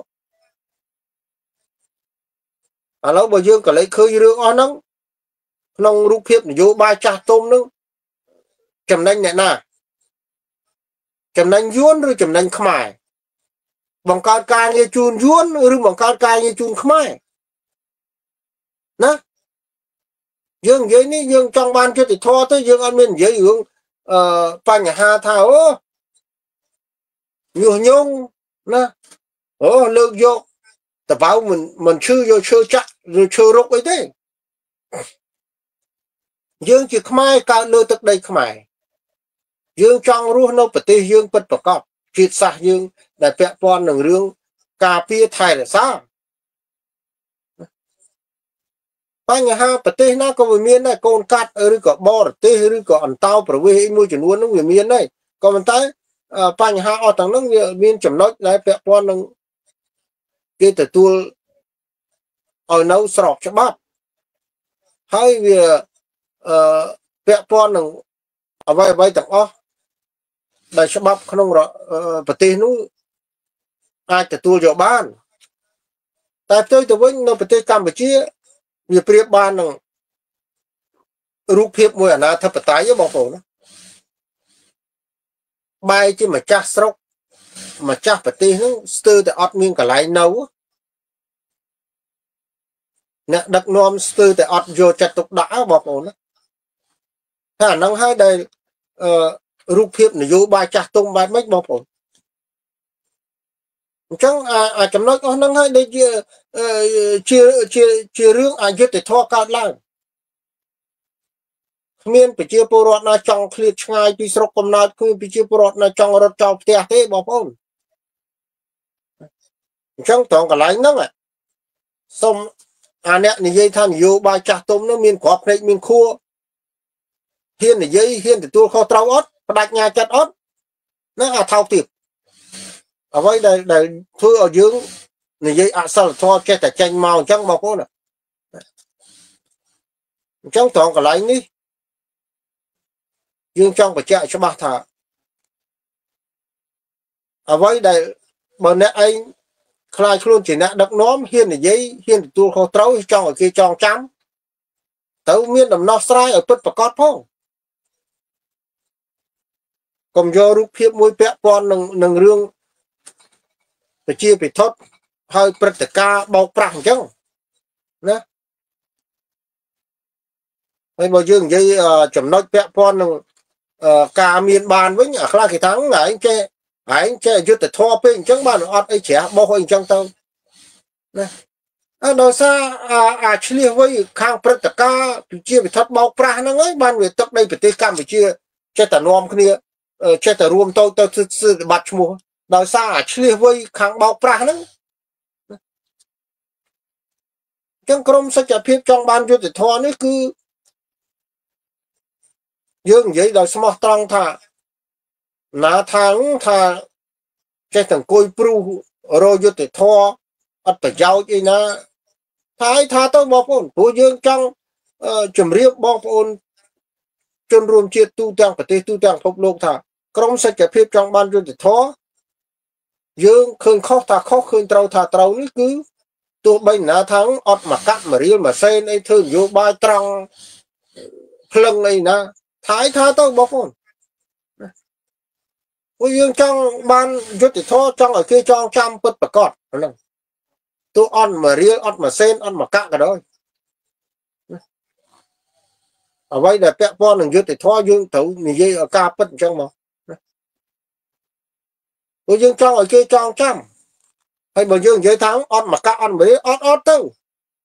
នៅពេលយើងចាស់តងាប់អាទ្រព្យសម្បត្តិនោះគ្មានអាណាយកទៅតាមទេ យើងអត់ចង់ឲ្យคลายខ្លួនថាអូក្រមសច្ចភាពចង់បានយុត្តិធម៌ហើយคลายជាពួកអសបាយថ្ងៃរស់បងប្អូនយើងអត់ចង់បានអញ្ចឹងទេយើងចង់ធ្វើអីមួយឲ្យគេចងចាំតែប៉ុណ្្នឹងឯងបងប្អូនចង់ឲ្យគេនឹកឃើញចងចាំអញ្ចឹងត្រង់កន្លែងនេះអ្នកណាថាធ្វើនយោបាយអត់ឆ្លៀសវៃធ្វើអីអើឆ្លៀសថាអីថាទៅហ្នឹងយើងអត់ចង់បានអាឆ្លៀសវៃកាត់ទឹកដីដើម្បីរក្សាអំណាច យើងអត់ចង់បានអាឆ្លៀសវៃខុបខិតគ្នាប្រជាពិធព្រឹត្តិការណ៍បោកប្រាស់យើងអត់ចង់បានថោកទាបអញ្ចឹងទេយើងចង់បង្ហាញពលរដ្ឋខ្មែរថារូបភាពក្រីក្រស្មោះត្រង់ឆន្ទៈពុតប្រកបបើយើងស្រឡាញ់ទឹកដីប្រទេសជាតិគឺការពារឲ្យគេចងចាំឲ្យគេឃើញច្បាស់ថាជាទឹកដីរបស់ខ្មែរពិតប្រកបមានប្រមាណគីឡូម៉ែត្រគឺទឹកដីរបស់យើងប៉ុណ្ណឹង ការពារថែរក្សាឧទាហរណ៍ចេះស្ដីដូចកោះកុតចឹងយើងមានប្រមាណ2ភាគ3ប្រមាណ1ភាគ3ឬក៏1គីឡូ2គីឡូម៉ែត្រក៏ដោយយើងចង់និយាយចឹង2គីឡូម៉ែត្រគឺទឹកដីរបស់ខ្មែរគឺទឹកដីរបស់ខ្មែរយើងអត់មានចង់ដោយអាមេចៅថាយើងញុះញង់បន្ទុះសារាយឲ្យមានសង្គ្រាមជាមួយថៃអីយើងអត់មានទៅចង់ធ្វើសង្គ្រាមអីទេ ស្អីទៅហើយយុទ្ធធរហ្នឹងយើងចង់បានអ្វីដែលយើងមានយើងការពារអ្វីថែរក្សាដែលរបស់យើងមានរបស់របរដែលដូនតាបន្សល់ទុកឲ្យអ្វីដែលយើងមាន181 0.35គីឡូម៉ែត្រហ្នឹងគឺយើងការពារប៉ុណ្ណឹងឲ្យបានថែរក្សាឲ្យបានអាហ្នឹងនឹងចំណុចសំខាន់ដែលយើងក្រុមសច្ចភាពចង់បានយុទ្ធធម៌គឺនិយាយអញ្ចឹងណា អត់ចង់ទៅឆ្លៀនពៀនគេអត់ចង់ទៅចង់បានរបស់គេថែរក្សារបស់យើងនោះដែលយើងមានហ្នឹងអាហ្នឹងចំណុចសំខាន់គឺអញ្ចឹង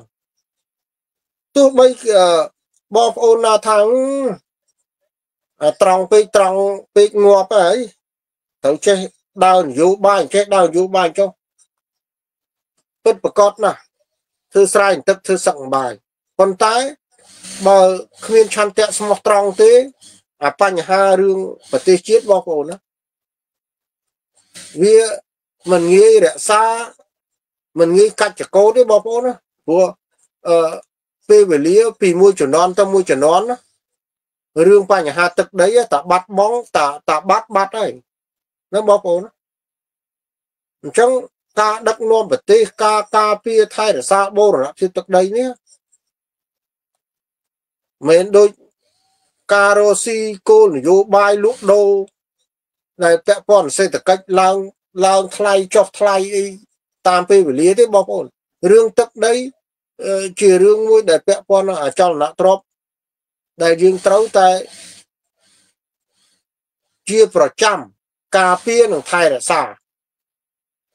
ហើយក្នុងនោះវាត្រូវបន្តវេនហ្នឹងគឺ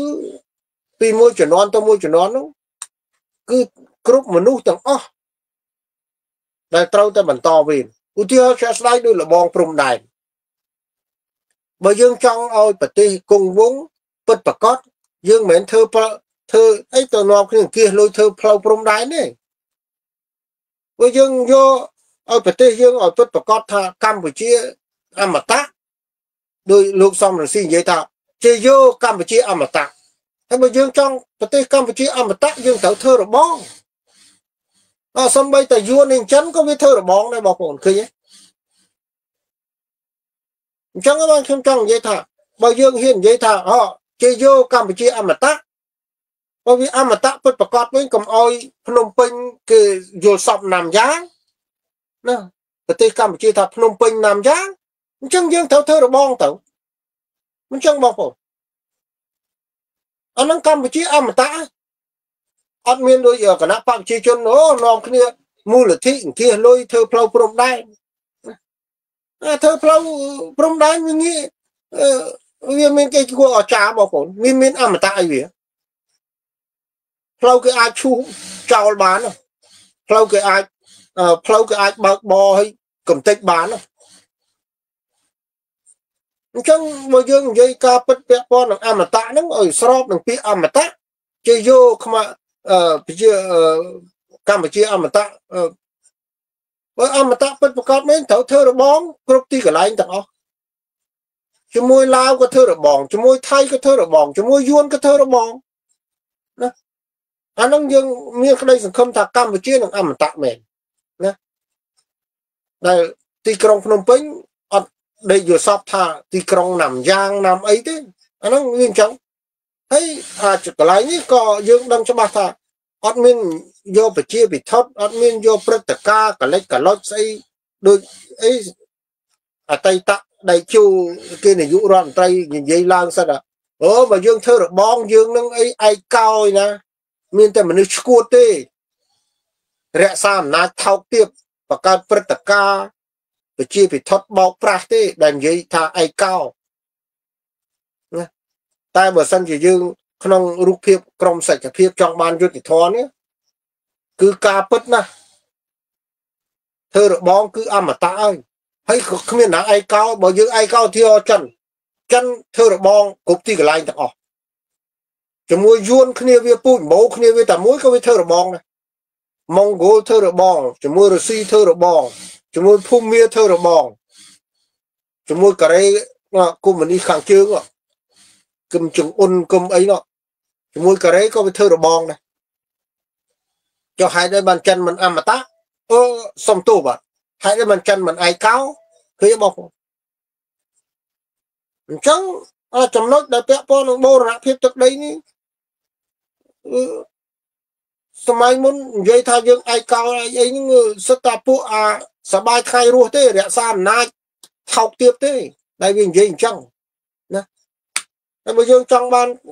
ឲ្យស្របនឹងពាក្យថាអមតៈអីទាំងអស់ហ្នឹងគឺធ្វើរបងទៅយើងមហាអំណាចប្រទេសគេចិនប៉ុណ្ណានេះគេធ្វើរបងទៅយើងបងប្អូន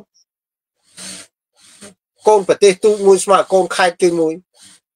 អញ្ចឹងបានថាជនរួមជាតិទាំងអស់គ្នាក្រមសច្ចភាពចង់បានយុទ្ធធម៌និយាយច្បាស់ច្បាស់ថាអឺណានាថាខ្ញុំអង្គុយនិយាយអង្គុយព្រុសនេះត្រង់ និយាយសាមញ្ញសាមញ្ញឲ្យត្រង់ភ្លឹងអីអញ្ចឹងទៅធ្វើនយោបាយគ្មានអឺអាចទៅរួចអីណាបងប្អូនអបញ្ហាព្រឹត្តិការណ៍ប្រជាវិធុតបោកប្រាស់យើងដឹងតាយើងមិនអត់ដឹងណាកលិចកលុចចូលស្ទឹងតាមបត់ហ្នឹងយើងដឹងតា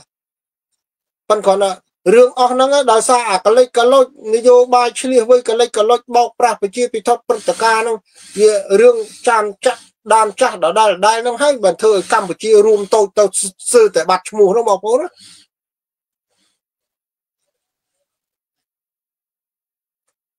ធ្វើឲ្យប្រទេសកម្ពុជាយើងរួមទៅទៅស្ទើរតែបាត់ឈ្មោះអញ្ចឹងចំពោះខ្ញុំក្នុងនាមក្រុមសច្ចភាពចង់បានយុទ្ធធម៌ខ្ញុំចង់និយាយថាអាណានិយាយថាត្រង់អីត្រង់ទៅឲ្យឲ្យឲ្យឲ្យឲ្យទៅផ្លូវអាឲ្យគេចងចាំថាអាហ្នឹងវាត្រង់អញ្ចឹងហ្មងទៅ អ្វីដែលចង់បានយុទ្ធធម៌ឲ្យវាខុសពីអាអាគេថាឆ្លៀសវៃនឹងតិចទៅព្រោះអ្វីអ្វីទាំងអស់ដោយសារអាកលិចកលុចត្រឡប់តលិនបាយបានបាយខ្ញុំឧទាហរណ៍ចាស់ស្ដែងបើយើងនិយាយកូនកាត់ទាំងអស់បងប្អូននៅលើពិភពលោកខ្ញុំចង់និយាយថានៅលើលោកនេះមានជនជាតិចម្រុះច្រើនណាស់ប្រទេសគេរស់បានដោយសាររស់នៅមួយគ្នាបានដោយសារច្បាប់ប៉ុន្តែនៅប្រទេសកម្ពុជា វាមានអាកូនកាត់ចិនកូនកាត់យួនអីទាំងអស់ខ្ញុំនិយាយនេះប៉ះពាល់មួយចំនួនសំទោសមានចំណុចខ្លះអ្នកនិយាយគេថាគេរូបរាងដូចយួនអ្នកខ្លះគេរូបរាងដូចចិនហើយដល់ពេលអឺគេកើតនៅស្រុកខ្មែរឬក៏គេមកនៅប្រទេសកម្ពុជាអញ្ចឹងទៅហើយគេបានចេញទៅប្រទេសទី3 កាន់ប៉ាសពតខ្មែរប៉ុន្តែគេនិយាយប្រាប់ជនជាតិផ្សេងៗគេថាគេមិនមែនខ្មែរគេចិនប៉ុន្តែកាន់ប៉ាសពតខ្មែរគេបងប្អូនតែវាអញ្ចឹងព្រោះគេវារូបរាងគេដូចយួនផងដូចចិនផងអញ្ចឹងគេថាគេគេមិនគេមិនចិនចង់និយាយថាគេគេជនជាតិចិនគេជនជាតិយួនអញ្ចឹងទៅណា ប៉ុន្តែប្រទេសកម្ពុជាគេកាន់ប៉ាសពតខ្មែរគេគ្រាន់ជាកន្លែងចម្លងឆ្លងគេបងប្អូននេះមិនទៅអញ្ចឹងបងប្អូនអ្នកខ្លះកើតនៅស្រុកខ្មែរជួនកាលជនបរទេសនិយាយចឹងព្រោះស្រុកខ្មែរយើងឥឡូវនេះបើយើងឧទាហរណ៍ថាបងប្អូនខ្មែរមួយចំនួនបានមានកូនធ្វើរាជការធ្វើអីទាំងអស់នៅស្រុកគេហ្នឹងហើយប្រទេសកម្ពុជាវាធ្លាក់ដល់កម្រិតមួយថាកន្លែងឋានសួគ៌អក្រិតកម្ម វាអនាធិបតេយ្យអត់គោរពសិទ្ធិមនុស្សអីទាំងអស់ហ្នឹងវាពាក់ព័ន្ធនឹងរឿងស្អុយនៅក្នុងប្រទេសកម្ពុជាហ្នឹងដល់ពេលគេរូបរាងគេដូចចិនរូបរូបរូបរាងគេដូចយួនគេកើតនៅស្រុកខ្មែរដល់ពេលនេះមានមានបងប្អូនយើងលឺមាត់តែនិយាយបងប្អូនមួយមួយចំនួនគាត់គាត់ថាយ៉ាអានេះកាន់ប៉ាសពតខ្មែរកើតនៅស្រុកខ្មែរថាខ្លួនឯងមិនមែនខ្មែរទេបងប្អូនប៉ុន្តែគាត់អត់មាត់ទេ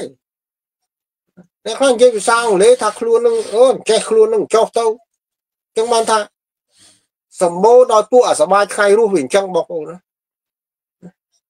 ហើយបើនៅស្រុកគេមួយចំនួនដែលពាក់ព័ន្ធនឹងអឺច្បាប់នៅស្រុកគេហ្នឹងឃើញបងប្អូនបើយើងនិយាយការពិតទៅ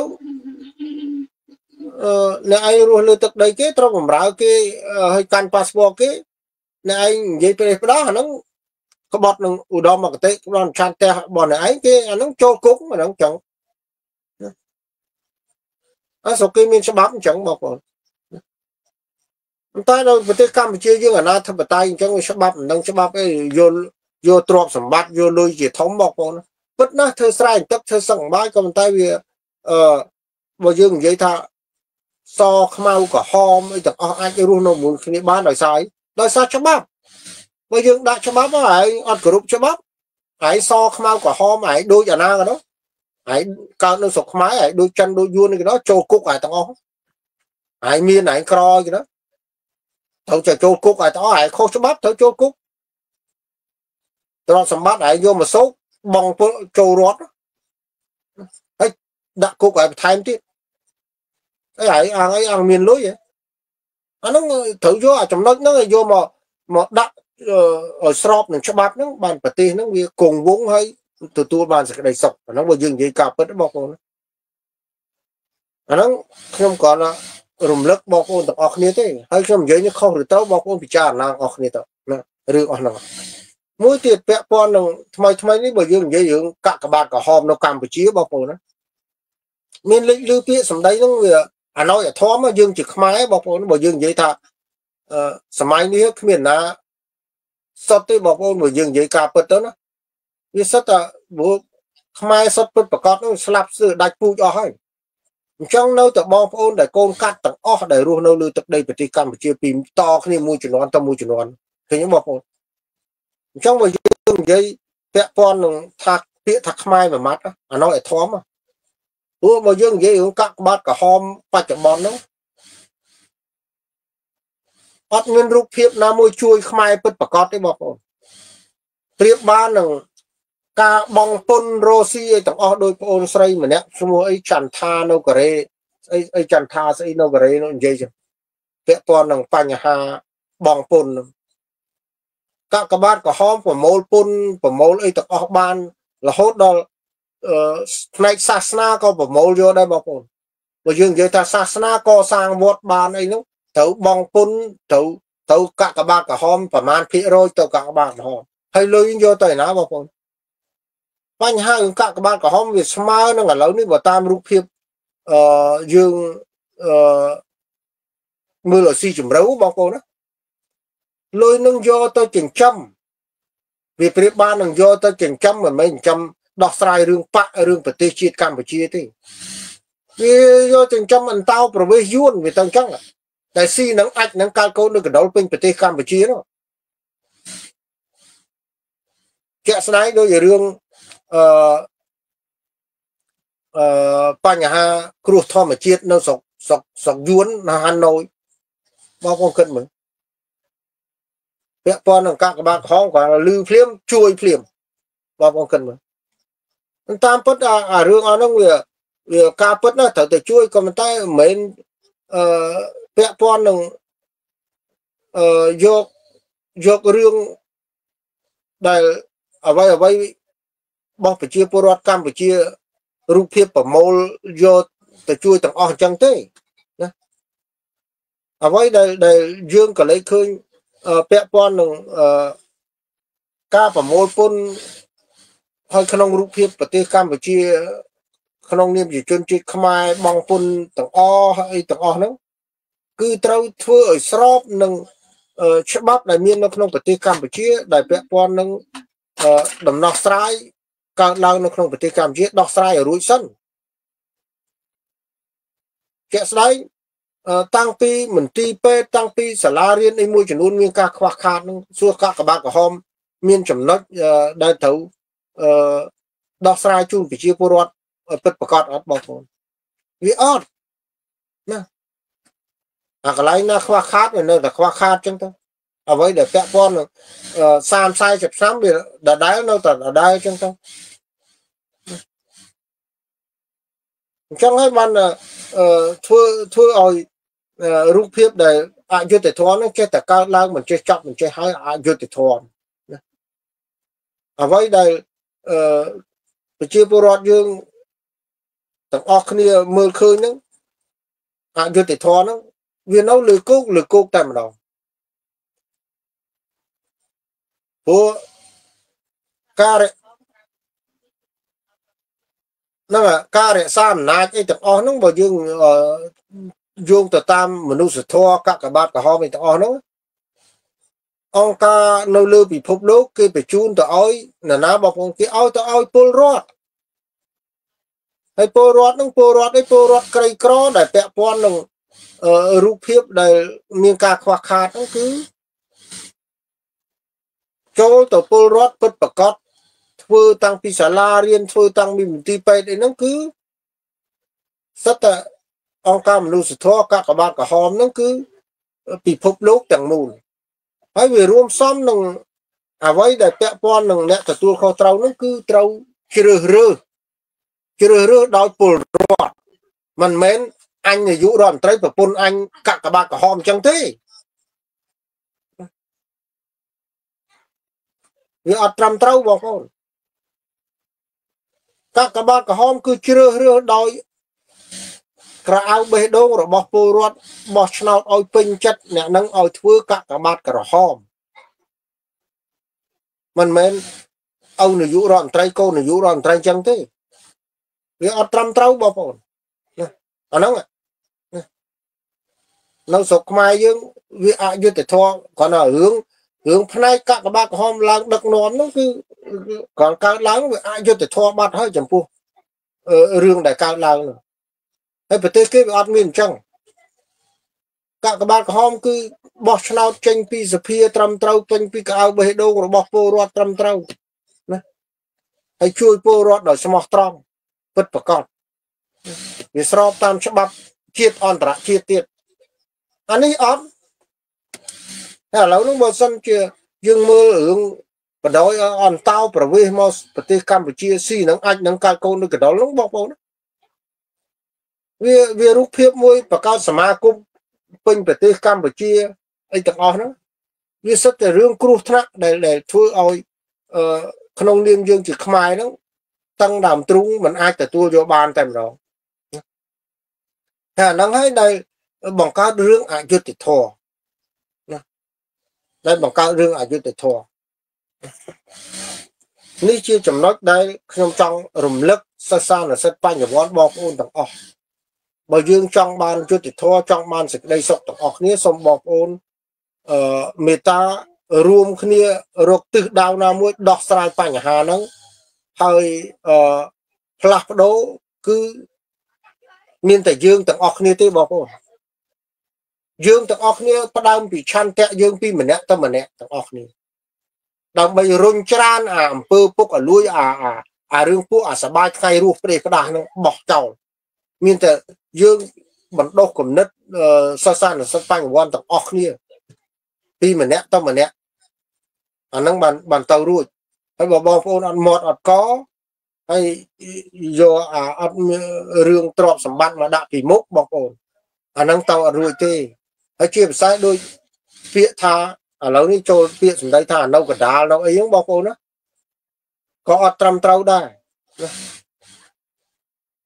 ព្រោះវាមិនមែនជាចំណុចដំណោះស្រាយនៃការផ្លាស់ប្ដូរទេអានៅកដាលណាឥឡូវឧទាហរណ៍ដូចកីឡាករពីរនាក់ឡើងប្រកួតប្រណាំងគ្នាបងប្អូនចង់នៅកដាលរកឃើញអ្នកឈ្នះហីវាអត់រកឃើញអ្នកឈ្នះទេ តោះតែយើងកាត់សេចក្តីឲ្យអ្នកណាវាយត្រូវដៃច្រើនជាងពិតណាស់វាយកីឡាករពីរនាក់នោះវាយគ្នាអត់មានសន្លប់មិនមានដួលមានអីទេប៉ុន្តែសួរថាអ្នកណាវាយចូលច្រើនជាងឃើញទេរាប់ដៃចូលច្រើនជាងរាប់អាហ្នឹងគឺចាត់ទុកបន្ទុកបន្ទុកដែលបានច្រើនជាងអញ្ចឹងវាត្រូវមានការឈ្នះចាញ់អាអានេះ បញ្ហារឿងទឹកដីប្រទេសជាតិនយោបាយក៏ដូចគ្នាដែរត្រូវមានចំណុចចែកដាច់នរណាមិត្តនរណាសត្រូវហើយបងប្អូនរនៅកដាលអានក្បាលស៊ីក្បាលអានកតុយស៊ីកតុយបងប្អូនអញ្ចឹងវាមិនខុសពីអាពួកដែលគេថាអឺឥឡូវនេះអ្នកដែលគេចោះចូលមួយចំនួនអាខ្លះចោះចូលបានលុយអាខ្លះចោះចូលអត់បានលុយអីហ្នឹងអាខ្លះចាត់ដាក់គុកអីហ្នឹងមូលហេតុទេបងប្អូនអាខ្លះគ្នា ពាក់ព័ន្ធនឹងឆន្ទៈពិតប្រកបដែលដែលស្រឡាញ់ទឹកដីប្រទេសជាតិបងប្អូនតែអាខ្លះគេចោះចូលក្នុងរូបភាពមួយបខំឲ្យបានលុយអញ្ចឹងសោះបាយយ៉ាងទាំងអស់អញ្ចឹងហើយខ្មែរយើងដល់ពេលអញ្ចឹងទៅអាមួយគេថាអានោះឆ្លាតឆ្លៀសវិញគេចេះធ្វើនយោបាយអីវិញតែបើយើងនិយាយរឿងយុទ្ធធរអត់ត្រឹមត្រូវទេបងប្អូនព្រោះ ដំណើរដើរទៅពាក់កណ្ដាលផ្លូវមួយគ្នាហើយតាំងបែកផ្លូវយកផលប្រយោជន៍រស់ខ្លួនឯងហើយបដ ாய் ឲ្យគ្នានេះជាប់គុកអញ្ចឹងទៅអាហ្នឹងអត់ត្រឹមត្រូវទេបងប្អូនអញ្ចឹងបានថាយើងអត់មានយកអាចំណុចហ្នឹងទេក្រមសច្ចភាពចង់បានយុទ្ធសាស្ត្រយើងនិយាយអីយើងទទួលខុសត្រូវយើងហ៊ានទទួលខុសត្រូវនេះយើងធ្វើដំណើរយើងថាបញ្ហាការពារកសាងប្រទេសយើងត្រូវចង់ឲ្យគេចងចាំគឺយើងត្រូវធ្វើចង់ឲ្យគេចងចាំតែម្ដង អត់មានដើរពាក់កណ្ដាលផ្លូវអីចង់បានផលប្រយោជន៍តែខ្លួនឯងហើយហើយអួតខ្លួនឆ្លៀសវៃនៅកណ្ដាលហើយថាអ្នកខ្លះនិយាយថាឥឡូវគាត់នៅក្មេងថ្ងៃក្រោយគាត់នឹងប្រែប្រួលចេះប្រែប្រួលចុះបងប្អូនពេលវេលាជាមាសប្រាក់ណាហើយអ្នកឯងទោះបីអាយុ30ទៅ30ជាង40ជាងនឹងក៏ដោយប៉ុន្តែឯងស្អុយពាក់កណ្ដាលផ្លូវម្សាយអ្នកឯងកែប្រែមិនក៏វាអត់ត្រឹមត្រូវដែរណា តែវាស្អុយឯងស្អុយឯងទោះបីខំកែប្រែយ៉ាងណាក៏ដោយហើយមិនបាច់យកដូចអ្នកចោះចូលរឿងអ្នកនៅលើប្រទេសប្រជាធិបតេយ្យហើយហើយថាប្រទេសកម្ពុជាបច្ចុប្បន្នសន្តិភាពអីចឹងណាខ្ញុំអត់ចង់ឌៀមដាហ្មងទេបងប្អូនប៉ុន្តែវានៅលើគោកហ្មងអយុត្តិធម៌ហ្នឹងបងប្អូនវានៅលើគោកស្មានថា សម័យមុននិយាយកុហកគេបានសម័យនេះយើងនិយាយកុហកគេមិនបងព្រោះរឿងអយុត្តិធម៌ឃើញទាំងអស់គ្នានៅលើគោកហ្នឹងចាប់ដាក់គុកដេញគេឲ្យប្រត់ប្រាស់សពបែបយ៉ាងទាំងអស់រូបភាពដឹកនាំមិនមែនជាម៉ែឪមិនមែនជាអ្នកដឹកនាំផងនោះហើយយើងទៅនិយាយថាសន្តិភាពរីកចម្រើនមិនរហូតដល់យើងមិនប្រាប់គេពិភពលោកគេដឹងថាកម្ពុជាជាកន្លែងឋានសួគ៌អក្រិតកម្មអី ហើយយើងថារីកចម្រើនសន្តិភាពមិនបងប្អូនអត់ក្រងជីជីវិតមនុស្សផងទេសចរលេងទៅកម្ពុជាហើយអញ្ចឹងហើយបានខ្ញុំចេះតែចង់ចាញ់ចោលថាបើឯងនិយាយថាសន្តិភាពរីកចម្រើនវិញត្រូវទៅនៅកម្ពុជាបង្ហាញគេហើយមួយទៀតពាក់ព័ន្ធពាក្យសម្ដីនេះដូចឥឡូវឮពាក្យសម្ដីអាឡុងនិយាយមកអាឡុងអាឡុងនិយាយមកថាគេមកពីគណៈបព្វជិជនហើយឥឡូវគេវិលទៅវិញគេខុសអី ណាមានតែអាចុយម្រាយដែលពាក់ព័ន្ធនឹងក្បត់ខ្លួនឯងសបាថ្ងៃរស់ហើយបាននិយាយអញ្ចឹងតែបើពាក់ព័ន្ធនឹងក្រមសេចក្ដីភាពយុត្តិធម៌អត់ត្រូវការថោកទាបណាយកលេសរឿងប្រជាធិបតេយ្យចេញចូលចេញចូលដូចសត្វឆ្កែអញ្ចឹងឯងអ្វីដែលពាក់ព័ន្ធនឹងរឿងយុត្តិធម៌ត្រូវនិយាយឲ្យការពិតឲ្យដល់សារសម្បូរដល់សារពួកអាសបាយថ្ងៃរស់អញ្ចឹងយកលេសនេះយកលេសនោះណា ហើយអួតខ្លួនថាឆ្លាតជ្រះវៃណាចេះដើរផ្លូវកដាលចេះរស់អើរស់ក៏ដូចម៉ែអញ្ចឹងហើយបានទឹកដីប្រទេសកម្ពុជាស្ទើរតែបាត់ឈ្មោះណា